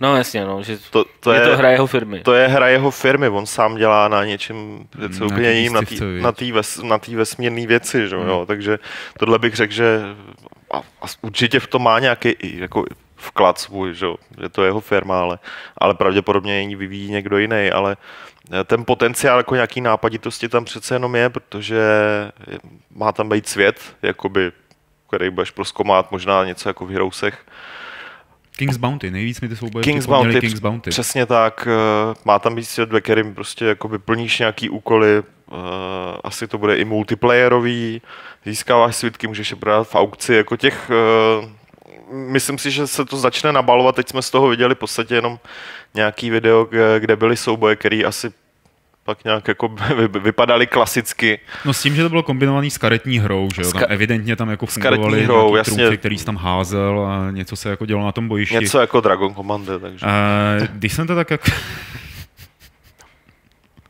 A, jako, dobrý, tím jsem trošku ozbrojil. Promiň. A když jsem tak sledoval to video, tak jsem si říkal, tyjo, tohle je hra, která by měla být na Facebooku, nebo to je jako prostě tak, vypadá to hrozně Facebookově, jo, jako by nějaká jednoduchá, nebo má to bude asi komplexní záležitost, ale takováhle uh, věcička a oni budou mít i uh, nějaký jako výrazně odlišný distribuční model, co jsem pochopil, v tom, jak to budou prodávat a jak to budou vlastně spát lidem. Bude to, stej, bude to takhle, bude to podobný podle toho, co zatím řekli, bude to podobný jako Minecraftu, čili zatím běží nějaká alfa, alfa verze uzavřená pro, no, takhle přístupná určitým počtu lidí. A až dojedou do bety, kde, budou, kde bude základní funkčnost, čili jako souboje nějaký a, a tedy, tak, tak to začnou prodávat s tím, že když si koupíš teďka třeba, nevím, za čtvrtinu nějaký výsledný budoucí ceny, tak pak máš klasika, všechny updaty zadarmo a tedy a tedy. Uh, což uh, jsem zvědavý, takhle, já jsem hodně zvědavý, eh, jestli dokážou zopakovat, ne, ne úspěch komerční Minecraftu, to asi jako o tom trošku pochybuju, ale že jim to tak jako všechno bude fungovat, že? protože tady ten model je založený na tom, že lidi si docela dost diktujou, nebo jako, co by tam mělo být. Co, co by tam mělo být, hmm. respektive takhle. Vývojáři přijdou s nápadem, pak se to tam nasadí, testuje se to, pak to jde pryč, nebo se to změní a tak dál. Jsem zvědavý, jestli jim to bude fungovat prostě i u takovýhle jako uh, hodně odlišné hry od Minecraftu, který začínal jakoby se světem, kde hmm. si mohl něco málo dělat a pak se rozvíjel. Že? Tady ty prvky už jsou docela naplánovaný. Sorry, tečko. Nechceš tam hodit obrázek nějaký? Nemáme. Jo, nejsou, aha. Můžu prostě video. Ale... Jo. A už se noč nějak ozřejmil, kdy to vyjde? Uh, vzhledem k tomu, že teďka zveřejnili první video, první obrázky, já nevím, já počítám, že tenhle rok třeba už ta, nějaká ta beta první se začne prodávat, někdy na podzim bych hádal, tak jako... Takže možná na Gamescomu o tom něco uslyšíme víc, ne? Na Gamescomu asi ne, ne nepředpokládám. No takhle, možná no, jako u příležitosti Gamescomu, no, tak to jo, to, to asi jo. Nicméně uh, Mo- Mojang, mám takový pocit, a teď nechci kecat, ale tuš, tuším, že, tuším, že budou mít své evropský, jako svou vlastní akci, kde, kde asi pravděpodobně budou všechny tituly, které tam vyvíjejí, ukazovat. Takže. Jo, jemu se podařilo tomu Nočovi to, co se nepodařilo snad nikomu jinému, aby si vypěstoval svoji komunitu nejenom internetovou, ale i reálnou. Že? I reálnou, no, to, to je úplně... uchvatný, že má nějaký ten Minecraft-con nebo Minecon, nebo jak se to jmenuje, jako, Minefest. Ano, má firmu, ale to má prostě poslední rok, to bylo celou dobu prostě one man show, jako jeden člověk no. udělá hru, který se prodávají melouny, pak je schopný prostě uh, na ten svůj úspěch jako v podstatě sám na sebe jako uspořádat akci, docela velkou, že v Americe. A já nevím, to je prostě jako uf, ufonský úplně, já nevím, jak to, to mám co jako... bychom chtěli my všichni, že jo, aby no, se nám nevím, povedlo. Že, jako... To bych pak musel být stejně chytrý, jak on. Já se musím přiznat, že, že jak sleduju jeho Twitter a je teda jako ve většině věcí s ním nesouhlasím. Jo. On má k těm indie vývojářům nebo na tu indie scénu takový jako dost snobský pohled a mám občas chuť ho za to nakopat do prdele, jo, ale, ale, ale je strašně šikovný, jako neuvěřitelný příběh. Jednou o něm určitě natočí nějaký dokument, jestli už o něm už uh, nenatočili. natočili. Story of Mojang. Story of Mojang. No, Mohang. Martine, takže ty se nás cross netěšíš. Eh, tady Petr se těší. Já jsem na to zvědavý. A já se těším a jsem zvědavý zároveň. Dobře uh, tak. O, cože? Nic. O, e, to jsme se dozvěděli o Scrolls a pak jsme se dozvěděli taky o další hře, nějaké další detaily, které nás asi moc nepotěšily. A to sice, že Far Cry 3 e, je posunuta ze září na konec listopadu s úžasným vyjádřením. Udělali jsme to proto, aby jsme vám mohli nabídnout víc akce a šílenství. Tak proto to posunujeme. Za A. Chcete v té hře víc akce a šílenosti nebo šílenství? Plejte se chytáš jako za slovo marketingového blábolu. Jako, Chceš tam víc akce a šílenství. Je by to jedno, jako.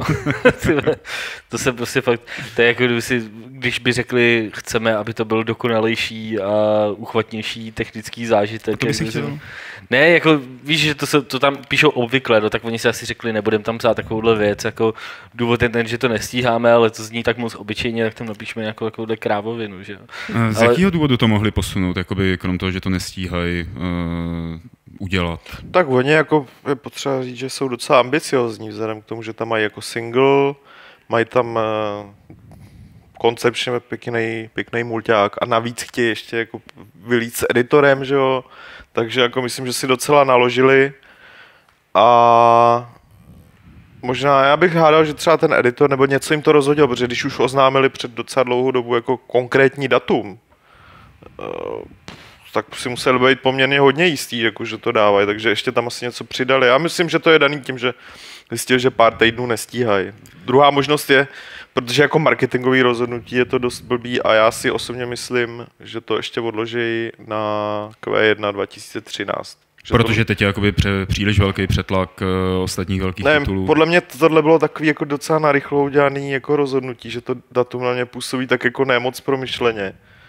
A podle mě to odloží Já si teda nemyslím, že by tam došlo k dalšímu jako odložení. Podle mě budou chtít stihnout prostě Vánoce s tím. Asi jo, ale, ale to datum, tak, respektive takhle, jako Q1, první kvartál příštího roku patří v podstatě celé EA, jestli nebudou moc odkládat.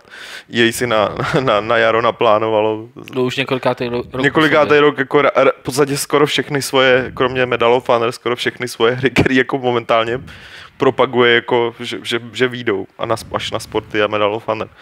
Takže asi nikdo jim tam moc nebude chtít líst, ale uh, ne, nebylo to moc promyšlený jakoby, celkově, že oni ani eh, bet, dávno oznámili multiplayerovou betu, teďka tvrdí, že teda jako ještě v zásadě neví, jak, jestli, jestli rozhodnutí posunout vydání ovlivní tu betu a tak dále. Je to nepromyšlený, tam spousta jako neuzavřených věcí. Ale no. tak jako, jestli to, může to být prostě podobný případ jako uh, budeme se ještě bavit o Mass Effectu, ale já bych to prostě trošku předběh uh, ve Final Hours of Mass, Mass Effect v takové té aplikaci prostě pro iPad uh, byly docela zveblubně jako no, popisované ty okolnosti toho, když tenkrát odkládali hmm. Mass Effect. A tam bylo prostě vidět, že ty vývojáři by se to prostě fakt bojejí říct, že to nestíhají. No, a prostě nechávají to fakt až do té úplně jo, jo, eh, nejvíc jakoby vyhrocený situace a pak teda si řeknou, tak jako teď už teda fakt se s tím nedá nic dělat, musíme, hmm. víme, že to prostě musíme posunout o 30 dní, o, nebo o dva měsíce, nebo o tři, že jo. A pak s tím teprve jdou jakoby za tím, za tím publisherem, že jo. Tak, takže, to, takže to... nedostaneme tolik her zadarmo od EA, jako jsme měli ve smlouvě. Ne, ne, ne, ty jsi psal, ty jsi psal na Twitteru, jako že, že to určitě museli vědět během E3, jo. No jako, to je věc, ke který já jsem si myslím, že, Já si myslím, že klidně k tomu rozhodnutí mohlo dojít třeba na E3, jo, mm. a, nebo, a nebo nějak těsně po ní mm. na základě buď nějakých ohlasů, a nebo toho prostě, že ztratili hromadu, pak třeba řekli, ztratili, podívejte se, měli jsme dobrou prezentaci na E3, ale ztratili jsme hromadu času přípravou E3 dema a takhle a jo. díky tomu to, to jakoby potřebujeme posunout. Jo. A nemusím si, že je nutný, aby to jako věděli už, už tam. Jako. Protože kdyby to věděli, tak eh, pro ně je lepší, když, eh, když lidi ví, kdy ta hra vyjde, hmm. že jo? Takže pro ně by bylo lepší, kdyby mohli na té E3, aspoň teda z mého pohledu. Navíc to posunutí, kolik je, o měsíc? Jako, eh, no ne, z začátku září na konec listopadu. Jako, to máš, o, to máš o tři měsíce. No. To je o tři měsíce, hmm. jo. To, to, už není zas tak málo. Jako není, není, to prostě něco, co si řekneš, že si to jenom šoupali v kalendáříku, tak aby se jim to hodilo. Zvlášť, když jako to září se jeví z hlediska jakoby nahuštění velkých her. Halo 4 vyjde, ne? Tak Halo 4 vyjde na začátku listopadu. Jo. jo, v listopadu vyjde Assassin, Halo 4, uh, eh, Call of Duty, teď jako, to no, ani to ne, ne, nespočtu, jo, ale, ale bude, bude to brutální a, a je možný, že tam třeba v listopadu, nebo možný, pokud Nintendo chce, chce Wii U, z Wii U vylíst letos, tak to podle mě bude v listopadu, že jo? Takže, hmm. takže to je jo, protože si říkám, to není úplně jako nejlepší, nejlepší datum. Takže předpokládáš, že to ještě posunou, jak jsi říkal na začátku. Já si osobně myslím, že, že, že prostě ještě se nad tím budou zamýšlet, jako, si to neposunout. Třeba na začátek roku, anebo prostě do prosince až. Hmm. Druhá věc je, že konec listopadu je už jako dost pozdě, že jo. No. To je, no. jakoby z hlediska je... prostě prodejů her je už to dost, dost blbý. Většina lidí už je o těch dárcích rozhodnutá prostě víc dopředu a když vyjdeš až jako poslední, tak no, no těžko říct, no. Zase na druhou stranu loni, loni Star Wars jako byli taky těsně před Vánocema a a taky to, taky to zvládli, taky to bylo hodně. předprodej hodně, ne? No, tak, no. tak to bude tady taky, no. Takže jsem zvědavý, no. Jako myslím, myslím si, že ještě, ještě to budou šoupat trošku. Jsem trošku doufal, že tady bude Lukáš. Eh, ještě včera, když jsem psal ten scénář, aby jsme se tady na závěr debaty o Far Cry 3 mohli roz, rozohnit nad tím, jestli té hře věříme nebo ne, ale nebudeme si to dělat. M- můžeme klidně. Ne, necháme si to možná až na nějaký jako další díl, až to zase posunu, až, to, až, až jako se splní to, co teď říká, že to posunu na začátek příštího roku, tak se rozohníme nad tím, jestli té hře věříme. A... Už bude pozdě. máme tady ještě dvě novinky. Jedna je teda podsunutá eh, naším šéf-redaktorem a, a o Mass Effectu 3 a o vlastně teď, jak vyšla ta Extended Edition, eh, jak vyšly ty nový zakončení. Nový bych... Nebo ne nový, ale prostě ty upravený. rozšířený, upravený. Eh, já jsem se ho dneska pokoušel rozkliknout, ale ve Firefoxu mi nějak začalo zlobit flash a všechny věci s tím spojený, takže se mi to nepřehrálo. takže tuhle debatu nechám na vás, ale jenom výkopová otázka. Jak se ty konce, máte pocit, že skutečně ty konce naplnili tu touhu fanoušků potom, aby vyzněli dobře, nebo aby jako to nebylo takový takový na jedno brdo? Hele, oni, oni říkali, Casey Hudson, tuším se jmenuje rovnou, jako de, de, deklaroval ještě než to vyšlo, nebo jak to vycházelo včera, že to určitě neuspokojí všechny. A co jsem tak dneska projížděl všechny možné jakoby diskuze pod článkama a názory v, jako v článcích nejenom hráčů, ale i, ale i novinářů a, a blogy a tak dále, tak je to takový, no je to přece jenom lepší prostě, že fakt jako úplně domr, domrtě některé věci ti ukázali, které podle mě třeba byly úplně jasný, ale ukázali, aby teda ty lidi jo, to, to viděli. Doslovně. Jo, teda. takže, hmm. takže ano, podařilo se jim to teda nějak, jakoby, mám z toho lepší pocit, ale prostě to není ono. Není to takový... Ty, co si stěžovali, že to nereflektuje to, co si hrál v té hře a tak dál, tak eh, nejsou spokojení s tím ani teď. Akorát tak, no, tak na ty jejich připomínky by se ale musel změnit prostě polovinu hry. No to by si musel změnit celou hru a, a to jsme... Takže jako vlk se nažral a koza zůstala celá?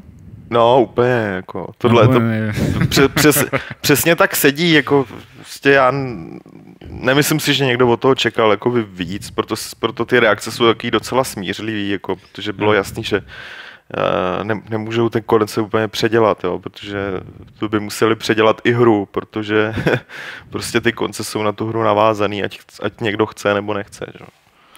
No je to takový jako, no, víc vysvětlující, budíš, hmm. jako myslím si, že je to popisný uh, prostě. Víc to, víc to jakoby objasňuje to, že v podstatě, a to, to mě třeba osobně trošku překvapilo, že vlastně jako všechny ty konce jsou, jsou v podstatě dobrý, jako všechny hmm. ty tři, eh, které byly v té původní hře. To, to jsem jakoby tak úplně uh, nebral, jo, po, konci, po tom, co jsem to dohrál prostě poprvé, takže by, že by jako ta, ta, volba, eh, ta volba prostě, kterou jsem udělal, eh, a to bylo zničení Reaperů, takže že by jako, to je teď spoilerujem vlastně, to jsme neřekli. Ale nespoilerujeme. Sorry. Eh, tak, takže jako, že to by, mm, že by to byl vyloženě jako dobrý konec a měl jsem takový jako pochybnosti. Možná, že hmm. mě to jako z tohohle pohledu je trošku sere, že teď jako mm, všechny ty konce jsou vlastně jako fajn a všechno je dobrý a Uh, jako podle mě Možná to... bych si tam, já bych si tam osobně, ale to je věc jako názor, já bych si tam osobně nechal radši nějaký prostor prostě pro tu fantazii a radši prostě pro to, uh, co jsme tady řešili i v tom speciálu a i, a i potom a o čem jsme se bavili prostě u piva, jako to mě prostě na tom bavilo, jo? jo? Možná, že kdyby tam byl tenhle ten konec od začátku, tak tohle neřešíme, jo? Tak si řekneme, ty, no, jako tak ten konec jako mohl být lepší, ale jo, ta hysterie paradoxně kolem toho, v, jako donutila člověka nad tím koncem víc přemýšlet a víc domýšlet ty, ty následky vlastně toho, co se tam stalo. Hmm. A jako mě to vlastně v podstatě možná vyhovovalo víc. No. Jo, jakoby... To jsi řekl hezky. Jo. Já... Hmm.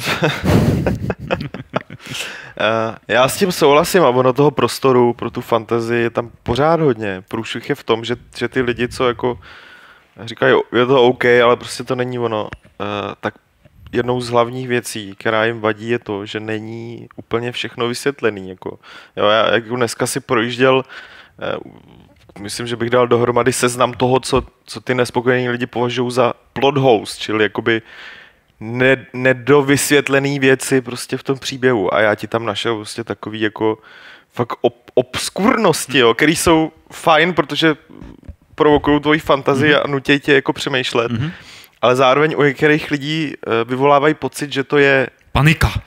Jako no, nevíme, co se stalo. Panika. Že, že to je Neřekli prostě nám. něco, co tvůrci by měli vysvětlit jo. prostě nutně a, tak, a přitom jsou to takové drobnosti, které absolutně nesouvisejí s, s tím zakončením. Jako je to prostě normální, my jsme se tady bavili uh, uh, při, při, během oběda prostě s Petrem o, o tomhle hmm. a, a hledali jsme tam takový paralely s koncem Harryho Pottera, jo, který prostě, jako tam ty reakce, a já jsem to tenkrát jako fakt sledoval, mě to prostě zajímalo, když jsem dočetl tu knížku, tak jsem si hodně procházel na hmm. netu, co a jak, a, a jako ty reakce byly fakt dost podobné. Mm. Jako, a ona tam nenapsala, co se stalo s támletím a co se stalo s támletím, jo, a jak to, že tenhle ten ve třetím díle řekl tohle mm. a pak, pak to vlastně jako neplatí, jo, že uh, k tomu jsme pak jako dospěli, jako nakolik je vůbec možný takovouhle prostě uh, složitou věc a takhle velký svět jako vychytat tak, aby, abys tam neměl rozpory. Jo. Já ti to řeknu a takhle. Že... U George Lucase sedí pán, už nevím, jak se jmenuje, je to nějaký americký Číňan,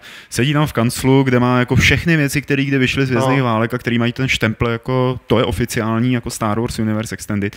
A každý den v jeho práci spočívá v tom, že od 9 do 6 nebo do 5 nebo do kolika sedí a čte ty jako nový přírůstky. Jasně, ale... Linkuje to, databázuje to a říká, jo, to sedí, to jim tam jako můžeme oficiálně vpustit. Ale a ve Star Wars, jako já, já teda moc jako nesmím ne, to, díky kolem Star Wars, ale musí tam toho být taky jako jo. tři prdele. Jo, ale no, to je jako... třeba jakoby to, jak jsi říkal, že nevíš, jak to ohlídat no, vlastně, ale všechno no, se dělo, že tady se snaží. Tady se snaží, tak to se snaží podle mě všichni, jako, ale, ale jako tady podle mě to jako v podstatě nejde, hmm. protože ty uděláš jakoby nějaký svoje jako dílo a pak ho vrhneš prostě mezi několik milionů nebo desítek milionů lidí, eh, kde, který vlastně jako mají tu kapacitu prostě několika násobně větší než ty, ať si na to najmeš vole, prostě mind, 500 no. lidí, nebo jsi na to sám jako hmm. rollingová, to je prostě úplně jedno. Jako de facto prostě fakt rolling, nemáš, rolling, tak ona na to taky určitě nebyla sama, taky to určitě po ní někdo kontroloval. Jak tady jako. říkal Petr, že jo, prostě no. jedna rollingová, 40 mozků pod ní. No, no, no. no, je to možný, no. Ale eh, jako asi to prostě fakt nejde. Já neznám jako jedinou sérii, to samozřejmě neznám všechny, ale, ale neznám jedinou sérii, která by fakt jako neměla žádný takovýhle jako nelogičnosti nebo hmm. lapsy prostě v tomhle směru. Jo. Takže jako Už v tomhle tom... Co? Už jsi viděl Prometeo? Ne, ještě ne. Aha, dobře, pokračuj. ne, ne, já jsem jenom vlastně chtěl dodat, že eh, z tohohle se BioWare taky můžou pěkně poučit, protože oni udělali hlavně v tom zakončení, prostě nechali spoustu jakoby věcí, které vyloženě ty fanoušky popuzujou, jo, jako, jak jsem říkal, jsou to fakt obskurnosti, jakože řeší to, že eh, Shepard krvácí jako z místa, kde byl střelený Anderson, jako a co to znamená. A, Jesus. Jo, jakože že prostě eh, na konci, když, když jakoby si zvolíš ten konec Destruction. A tak ono je to zase super pro ty autory, jo. že jako prostě je komunita, která se hádá to o takovýchhle naprostých píčovinách. Jo, to, to... To, to, je jakoby, to je prostě paráda, jo, ale, ale musíš jako si říct, to už jsou právě takové ty maličkosti a o, o, o, těch nebudeme mluvit a ty nebudeme vysvětlovat, to, to už si jakoby, to už si vy rozebírejte, to už je mm, prostě na jasně. vás. Ale my s váma nebudeme vyjednávat. Ale my s váma nebudeme vyjednávat a mně právě přijde, jako když to schrnu ve výsledku, mně prostě přijde celý to DLCčko jako uh, jako ztracený čas pro ty lidi, kteří mohli no, dělat něco no, jiného. Jasně, no. ty, ty si předtím si říkal, že jako je to, eh, že jako uh, vlk se nažral a koza zůstala celá, nebo jak se to říká, no. Ale v podstatě jako kdo na tom... jsem to měl, Reaper se nažral, ale jako... ale v podstatě kdo na tom, kdo na tom jako prodělal, byli BioWare, no. Byli, jako, no. Prostě oni se museli věnovat jakoby několik týdnů, nebo já nevím, eh, jak dlouho, prostě něčemu, co evidentně původně jako neměli v plánu, že jo? A, a stálo je to, takovýhle studio to prostě může stát fakt dost jako peněz. No, vzhledem k tomu, že dodělávali dubbing a tak dále, tak ten to je tam asi jako největší přídavek. A že? na konci, no ještě tam takový ten hezký screen na konci, který se tam objevil. Eh, takový to jako děkujeme vám všichni jako věrní podaní za to, že jste hráli jako naší sérii. A eh, je tam zmíněno ke konci jako těšte se, ne těšte se, není tam přímo takhle, že jo, řečeno, ale je tam řečeno něco jako další dobrodružství ze smíru Mass Effect. To budou takže, určitě, budou určitě DLCčka, o nějakých, o, o nějakých se určitě mluví a nějaký by možná i vyšlo. Nebyl toho, že museli dodělávat teda, ne, nebyl toho, že teda museli dodělávat tady ten konec, jo, takže, nebo takhle, buď to budou příběhový DLCčka, anebo... Celá nová hra? Ta bude určitě podle mě 100%, hmm, jako to hmm. není pochyb, že protože Shepard, ať už vám, ať už je mrtvý nebo není, nebo prostě ať se s ním dělo cokoliv, tak, tak jeho příběh je uzavřený a fakt jako si stvořili Teď bude prequel, ne? univerzum. Jako dítě Shepard. Oni, ne, oni nemusí vůbec navazovat tady na ty události. Že? Oni si můžou vymyslet i úplně nový rasy, oni vůbec nemusí hmm. používat ty, co tam jsou. To je jako, krásný. Což, to je... což, to je krásný univerzum plný možností. Což je super a teď si představ, že oni by museli úplně všechny ty možnosti, jaká, jakoukoliv drobnou možnost, která někoho z těch milionů fanoušků na světě napadne, tak by to museli vysvětlit tady prostě na konci té trojky, tyjo, což je to, co spousta lidí chce. Neříkám, že Já to museli mít speciálně nějaký analytický soft, který by jim tam jako jel, že jo, a pročesával ty scénáře to jsem, a zjišťoval. To jsme četli s Martinem u, u Mika Mage na blogu, jo. Jsem, já jsem si čet prostě, jak tam píše o tom syntetickém konci novým a, a píše, a zůstává tam spousta věcí jako nedosvětle, ne, nevysvětlených jako uh, jsou nesmrtelný, nebo jako v té animačce prostě je tam vidět jako malý syntetický dítě, takže to znamená, že se rodí, tak musí umírat, jo. Tohle jsou, a píše to tam tak, že bych chtěl, aby to bylo vysvětlený. To Jasně, prostě co, nelze, co, co z toho, že? jako kdyby to vysvětlený bylo, že? No, přesně, to je jako...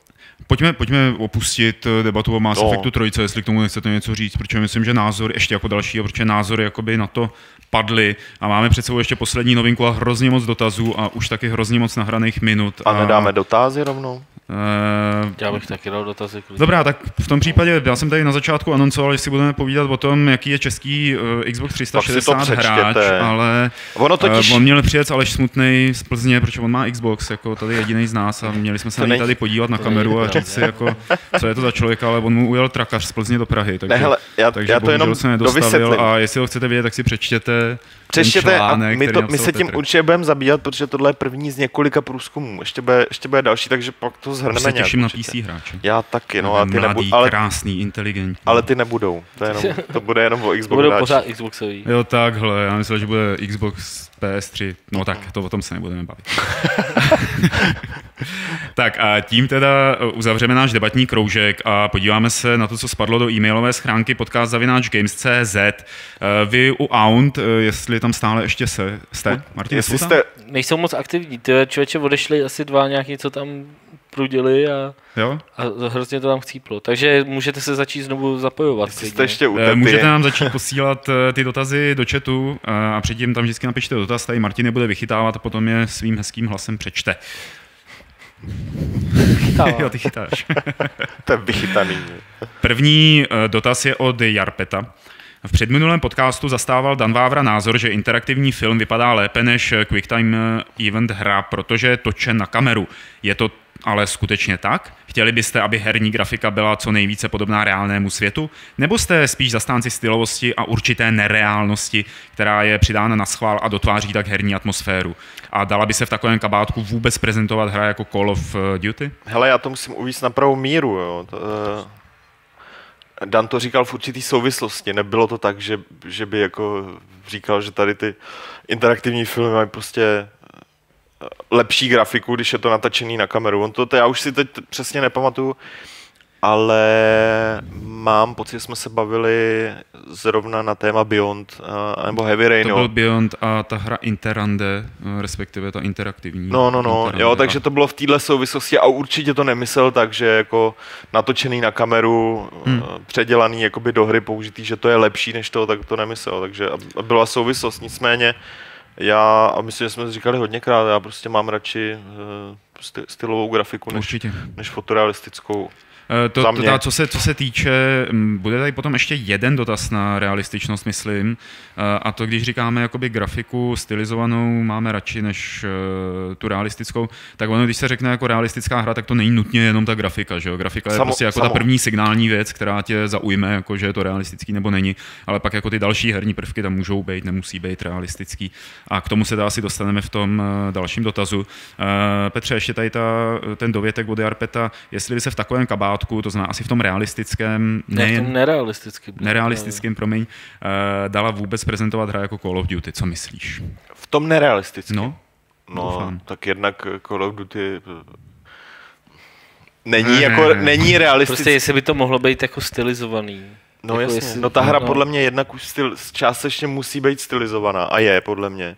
A já v tom nevidím jako žádný, žádný problém. Akorát by možná museli vymyslet prostě místo vojáků houbičky a a nebo prostě museli by to tomu přizpůsobit, já nevidím problém, proč by to nešlo. Že? Třeba třináctka od Ubisoftu, ta komiksová, to prostě parádní. výborná. Je tady dotaz nepodepsaný, jestli nevíme, zda Dead Space 3 bude mít u nás český překlad jak na PC, tak i na konzolích. To asi nevíme. To asi nevíme, ale pochybuji. Velmi. Nevím. Eh, Světlá budoucnost, jestli jsem to To je dobře... podpis. To je podpis, světlá budoucnost. Ten člověk se tak podepsal, to je má hezký, budoucnost. To je hezký. Taky se mi to líbilo strašně. Je. No a pak se taky na něco ptá, no.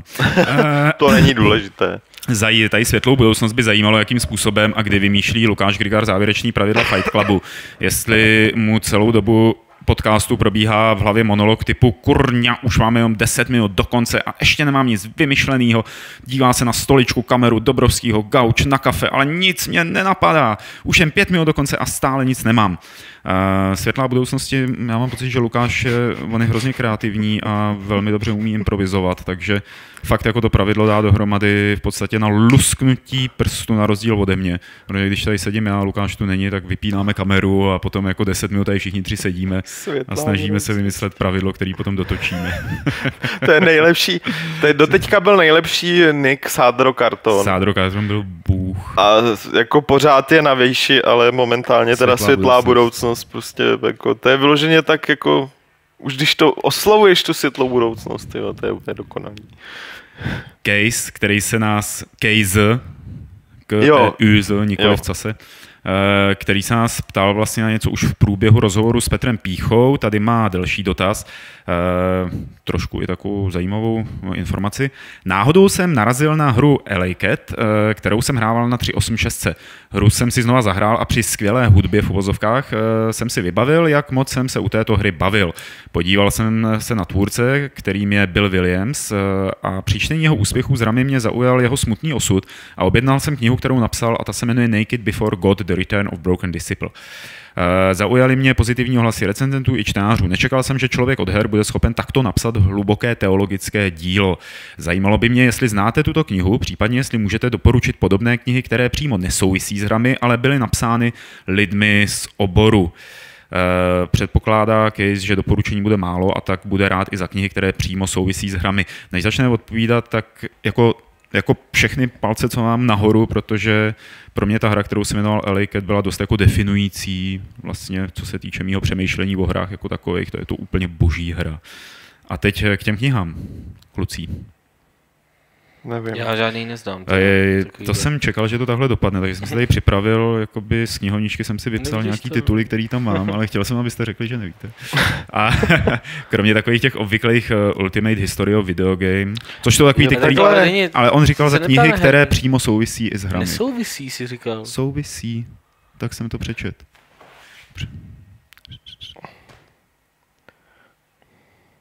No jo, ale to je nějaká poznámka, vole, kterou si nepřečet, vole. Přečet, ty vole. Přečet poznámku? To já nevím, ty vole. Tady je ještě poznámka, předpokládám, že doporučení bude málo.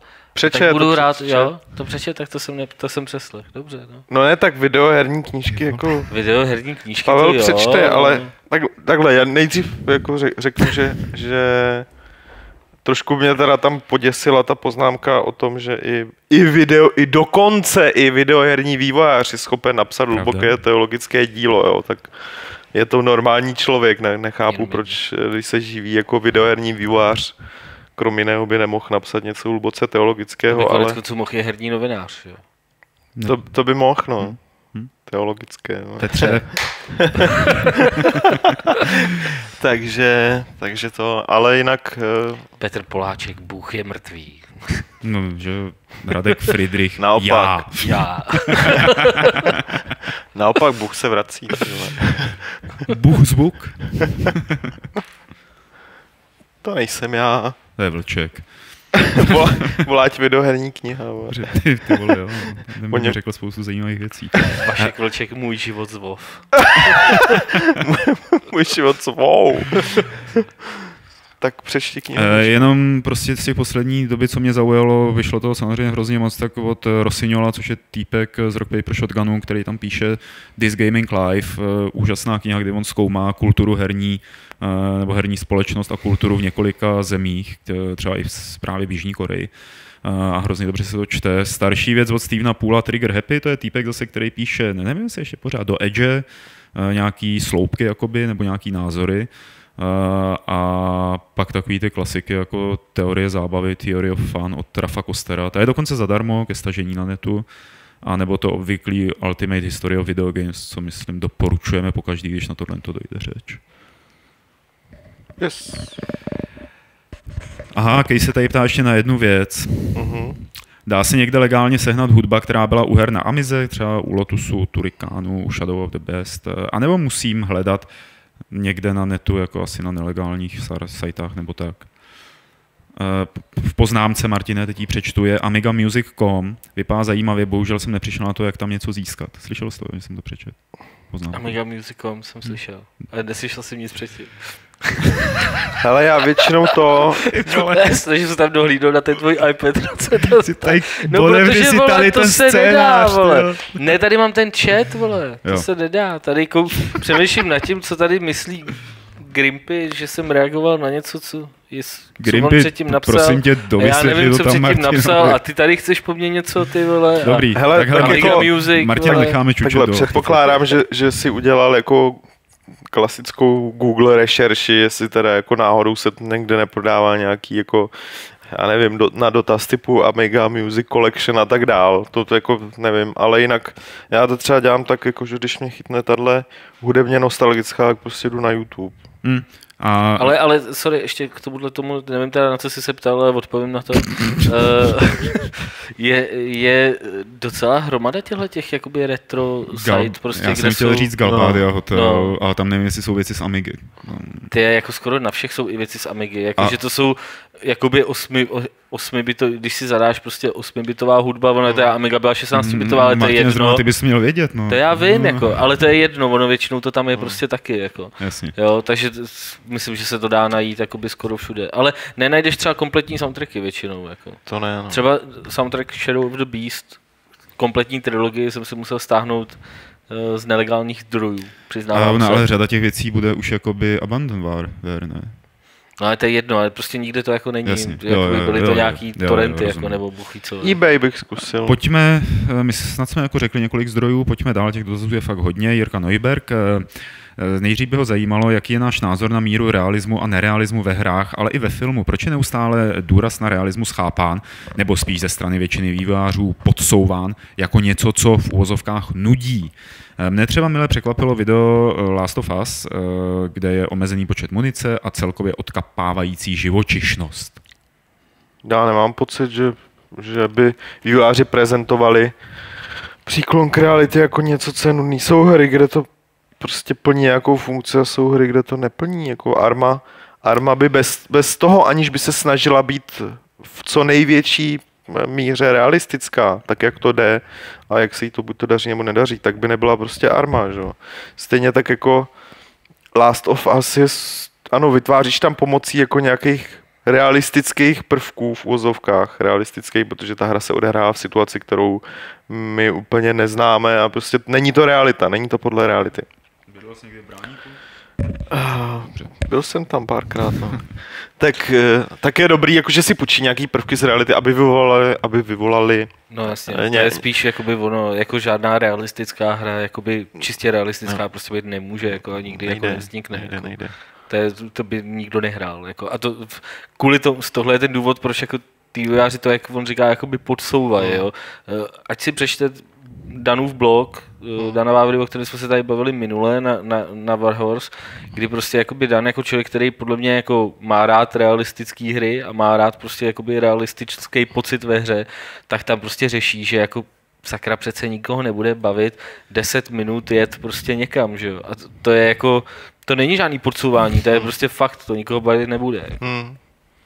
Na druhou stranu eh, třeba zrovna ten mod Day, Daisy pro, pro druhou armu u, u, ukazuje, že za určitých podmínek určitá míra realismu prostě eh, a, asi větší než Hmm. u jiných her, jako může být strašně zajímavá, pokud ale do toho zapojíš lidi z obou stran, pokud prostě na jedné straně není program a na druhý ty, ale pokud prostě jsou tam hlavně lidi, že? jo. Yep. Prey 2. Zapomněl jsem. Jakže o osudu hry rozhodnuto? Je to odloženo nebo zrušeno? Odloženo zatím. A ta akta možná. Ale Další. těžko říct. Uvidíme. Snad to dobře dopadne. Další otázka Snad to dobře dopadne. od Jirky Neuberga. Eh, Na E3 byla, eh, nebyla zmínka po případě stánek věnující se Company of Heroes 2. Nevíte něco nového? Bylo. Bylo to tam, bylo to v THQčku. Narazil jsem na vývojáře Company of Heroes 2, poté co jsem vylezl z naprosto jako demotivující prezentace nového metra. Řekl jsem, on se mě zeptal, jak se mám, já jsem mu řekl, že to všechno stojí jako za prd, že jsem unavený už a zeptal jsem se ho, jak se má on a on mi řekl, že všechno stojí za hovno a že už je taky hrozně unavený. Když jsem se ho zeptal, jestli můžu přijít na prezentaci, tak na mě vrhnul pohled a řekl, mně už je to jedno. A tím potvrzuji, že tam teda jako byla prezentace of Heroes 2. Ale Zkrátka, neviděli jsme ji, no. Zkrátka, Teda jako dobře, T- ne- THQ nebyl- stánek byl obecně takový jako dost depresivní. letos. nebyl, nebyl čas a kapacita, ale, ale tak nějak to zkusíme třeba na, na Gamescomu. Nějak Přesně vy, tak. Taková typická kategorie Gamescom.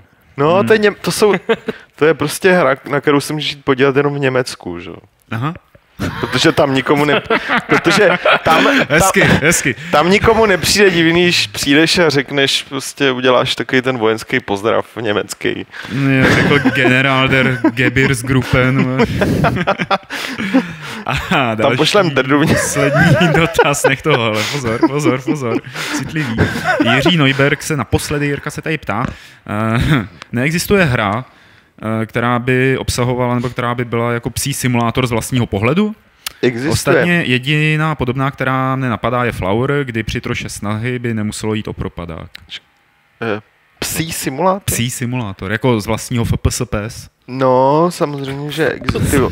Jo, já teď nevím, ale, ale mohl se tam, mohl se Já- tam proměnit. Je to, počkej. Já vím, že byla Beruška, teda, což není pes. no. Ne, ne, ne, de- dej mi sekundu. Ano, byla to, dělal to David Braben, dělal, No. dělal, dělal to Frontieri, Mhm, byla to mhm. PS2 hra. Mhm. Jenom se chci podívat, eh, jak se přesně jmenovala, abych...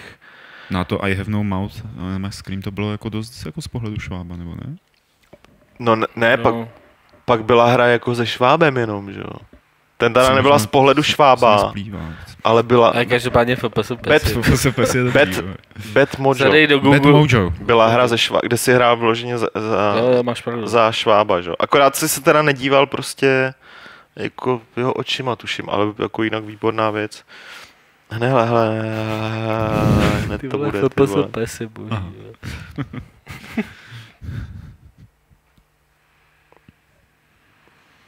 Já, už to, už, už to leze. Ještě se chvilku budem koukat na Petra, jak to z něj leze. Dogs Life. Dogs Life, jo? Jo. Aha, tak to tady bylo na chatu, já jsem No. myslel, že... Já jsem To myslel, je že to je vtip. Ty zase říkal, Není. Já jsem si myslel, že to je jako alternativa FPS vole. není a je to, výbo- a je to no. výborná věc. Lukáš Svoboda, eh, rád bych se zeptal, co soudíte o faktu, že na PS3 sice vychází relativně hodně exkluzivních titulů, ale mnohé z nich tak tak dosahují milionu prodaných kusů. Eh, I takové Killzone, která stála snad 40 mega dolarů na vývoj, se prodalo pouhé 2 miliony a to byla horečnatě propagována jako ta jedna hra, co vládne všem. Jistě, PS3 má pár bestsellerů jako Uncharted či Gran Turismo, ale při pohledu na konkurenci a jejich multimilionové úspěchy Zeld, Mario, Ge- Gearsů, eh, série Halo, si přeci jen eh, musí jen, co? Si přeci musí jen hvízdat závistí.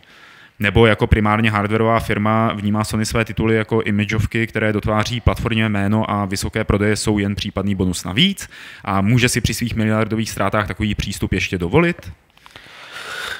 Ty myslím, že jako srovnávat tomu- se Zeldou, Mariem není úplně jako košer. Ono, případech. tak se, jakoby Nintendo má prostě ty značky fakt úplně pošéfovaný úplně neuvěřitelným způsobem, ale jako uh, abych se, ty dva miliony kusů, to je prostě super výsledek, jakoby Hmm. na, na hru, která je prostě jednoplatformová. Hmm. Uh, stačí jako jednoduchým násobením dojdeš k tomu, že prostě na tom utržili nějakých, já nevím, 100 milionů dolarů, takže prostě jestli ta hra stála 40 milionů, uh, oni kvůli tomu, oni díky ní prodali třeba ještě prostě nějaký další konzole a takhle, To je, to je, tak je to, je to prostě jednoznačně jako v pohodě výsledek. Jo. A je potřeba fakt nezaměňovat, to je další věc, co jsem chtěl říct, je potřeba nezaměňovat jako výsledky celého Sony s výsledkama prostě herní divize. To je prostě Vždycky to lidi dělají. Sony Jo, prodělává, jo, jo. propustilo tamhle x, x desítek nebo x tisíc dále, lidí, jako, jasně. ale Sony je prostě fakt firma, která propustí 10, která řekne propustíme 10% zaměstnanců a propustí 10 tisíc lidí. Jo. To je prostě taková korporace, jako si podle mě jako nedovede nikdo z nás Hmm, představit. Jo. hmm. Takže a tím pádem vyvíjí takových aktivit a takových prostě věcí, Hmm. že no, fakt z tohohle bych jako nic neusuzoval. Jo, sam, jinak, jinak, já bych chtěl dodat, chtěl bych dodat k tomu srovnávání samozřejmě to, že Microsoft uh, je schopný prodat několik, eh, kolik molekulát, teď nevím přesně čísla, ale prodají třeba Halo jako eh, Xbox exkluzivní hry mnohem víc, což je jako parádní výsledek, ale No, Ale- další věc je, že když se jako mm, mluvíme o tom, že něčeho se prodalo milion kusů, no. No. tak to je jako zatraceně hodně, že jo? A, A to není, já bych- to Jako všechny- záleží a není, samozřejmě není, na tom- Není to norma, všichni by to rádi, ale není přece norma. Ale, jako ale samozřejmě záleží na tom, jako milion kusů může být i málo, jako, Může, ale, ale jakoby, nemusí. pokud je to multiplatformová hra, která prostě byla ve vývoji nějak dlouho, tak je prostě milion kusů dohromady jako málo, Hmm, jo, ok. ale může být. Hele, já bych jenom rád dodal, uh, ten break je po každý někde jinde, že jo. Mhm. Je to, je to strašně re, eh, relativní, jo. zatímco Soňáci těch svých mm, PS exkluzivních her, který jsou docela jako velký nebo známější a mají třeba prodeje přes 100 mega, mají docela hodně, tak Xbox jich prostě má jednu, že jo. Má prostě Halo. A A Gears, jako jo, má jich, jo, jasně, Forzu, jasně. no, mají toho hodně. No ale mají jich, mají jich třeba mnohem méně, než, než, než má Sony, protože tohle je strategie Sony, že? jo, jako v podstatě. A má pravdu v tom, že uh, pro Sony jsou to imageovky, že? jo, proto Sony uh, podporuje, podporuje i ty ne, nezávislé věci typu Což je Dead, super Dead. Dead Game Company, no, no, no, jo, kde původní záměr byl stoprocentně, oni nám budou dělat ty artové hry, které se sice nebudou asi moc prodávat, ale my budeme tlačit, prostě bude to image jako naše. A nakonec prostě uh, teďka posledního posledního titulu od Dead Game Company se je, je nejprodávanější hra na, na PSN, že? takže jako to je naprosto skvělá strategie, která jim vytvořila image a ještě přinesla prostě skvělý prodej.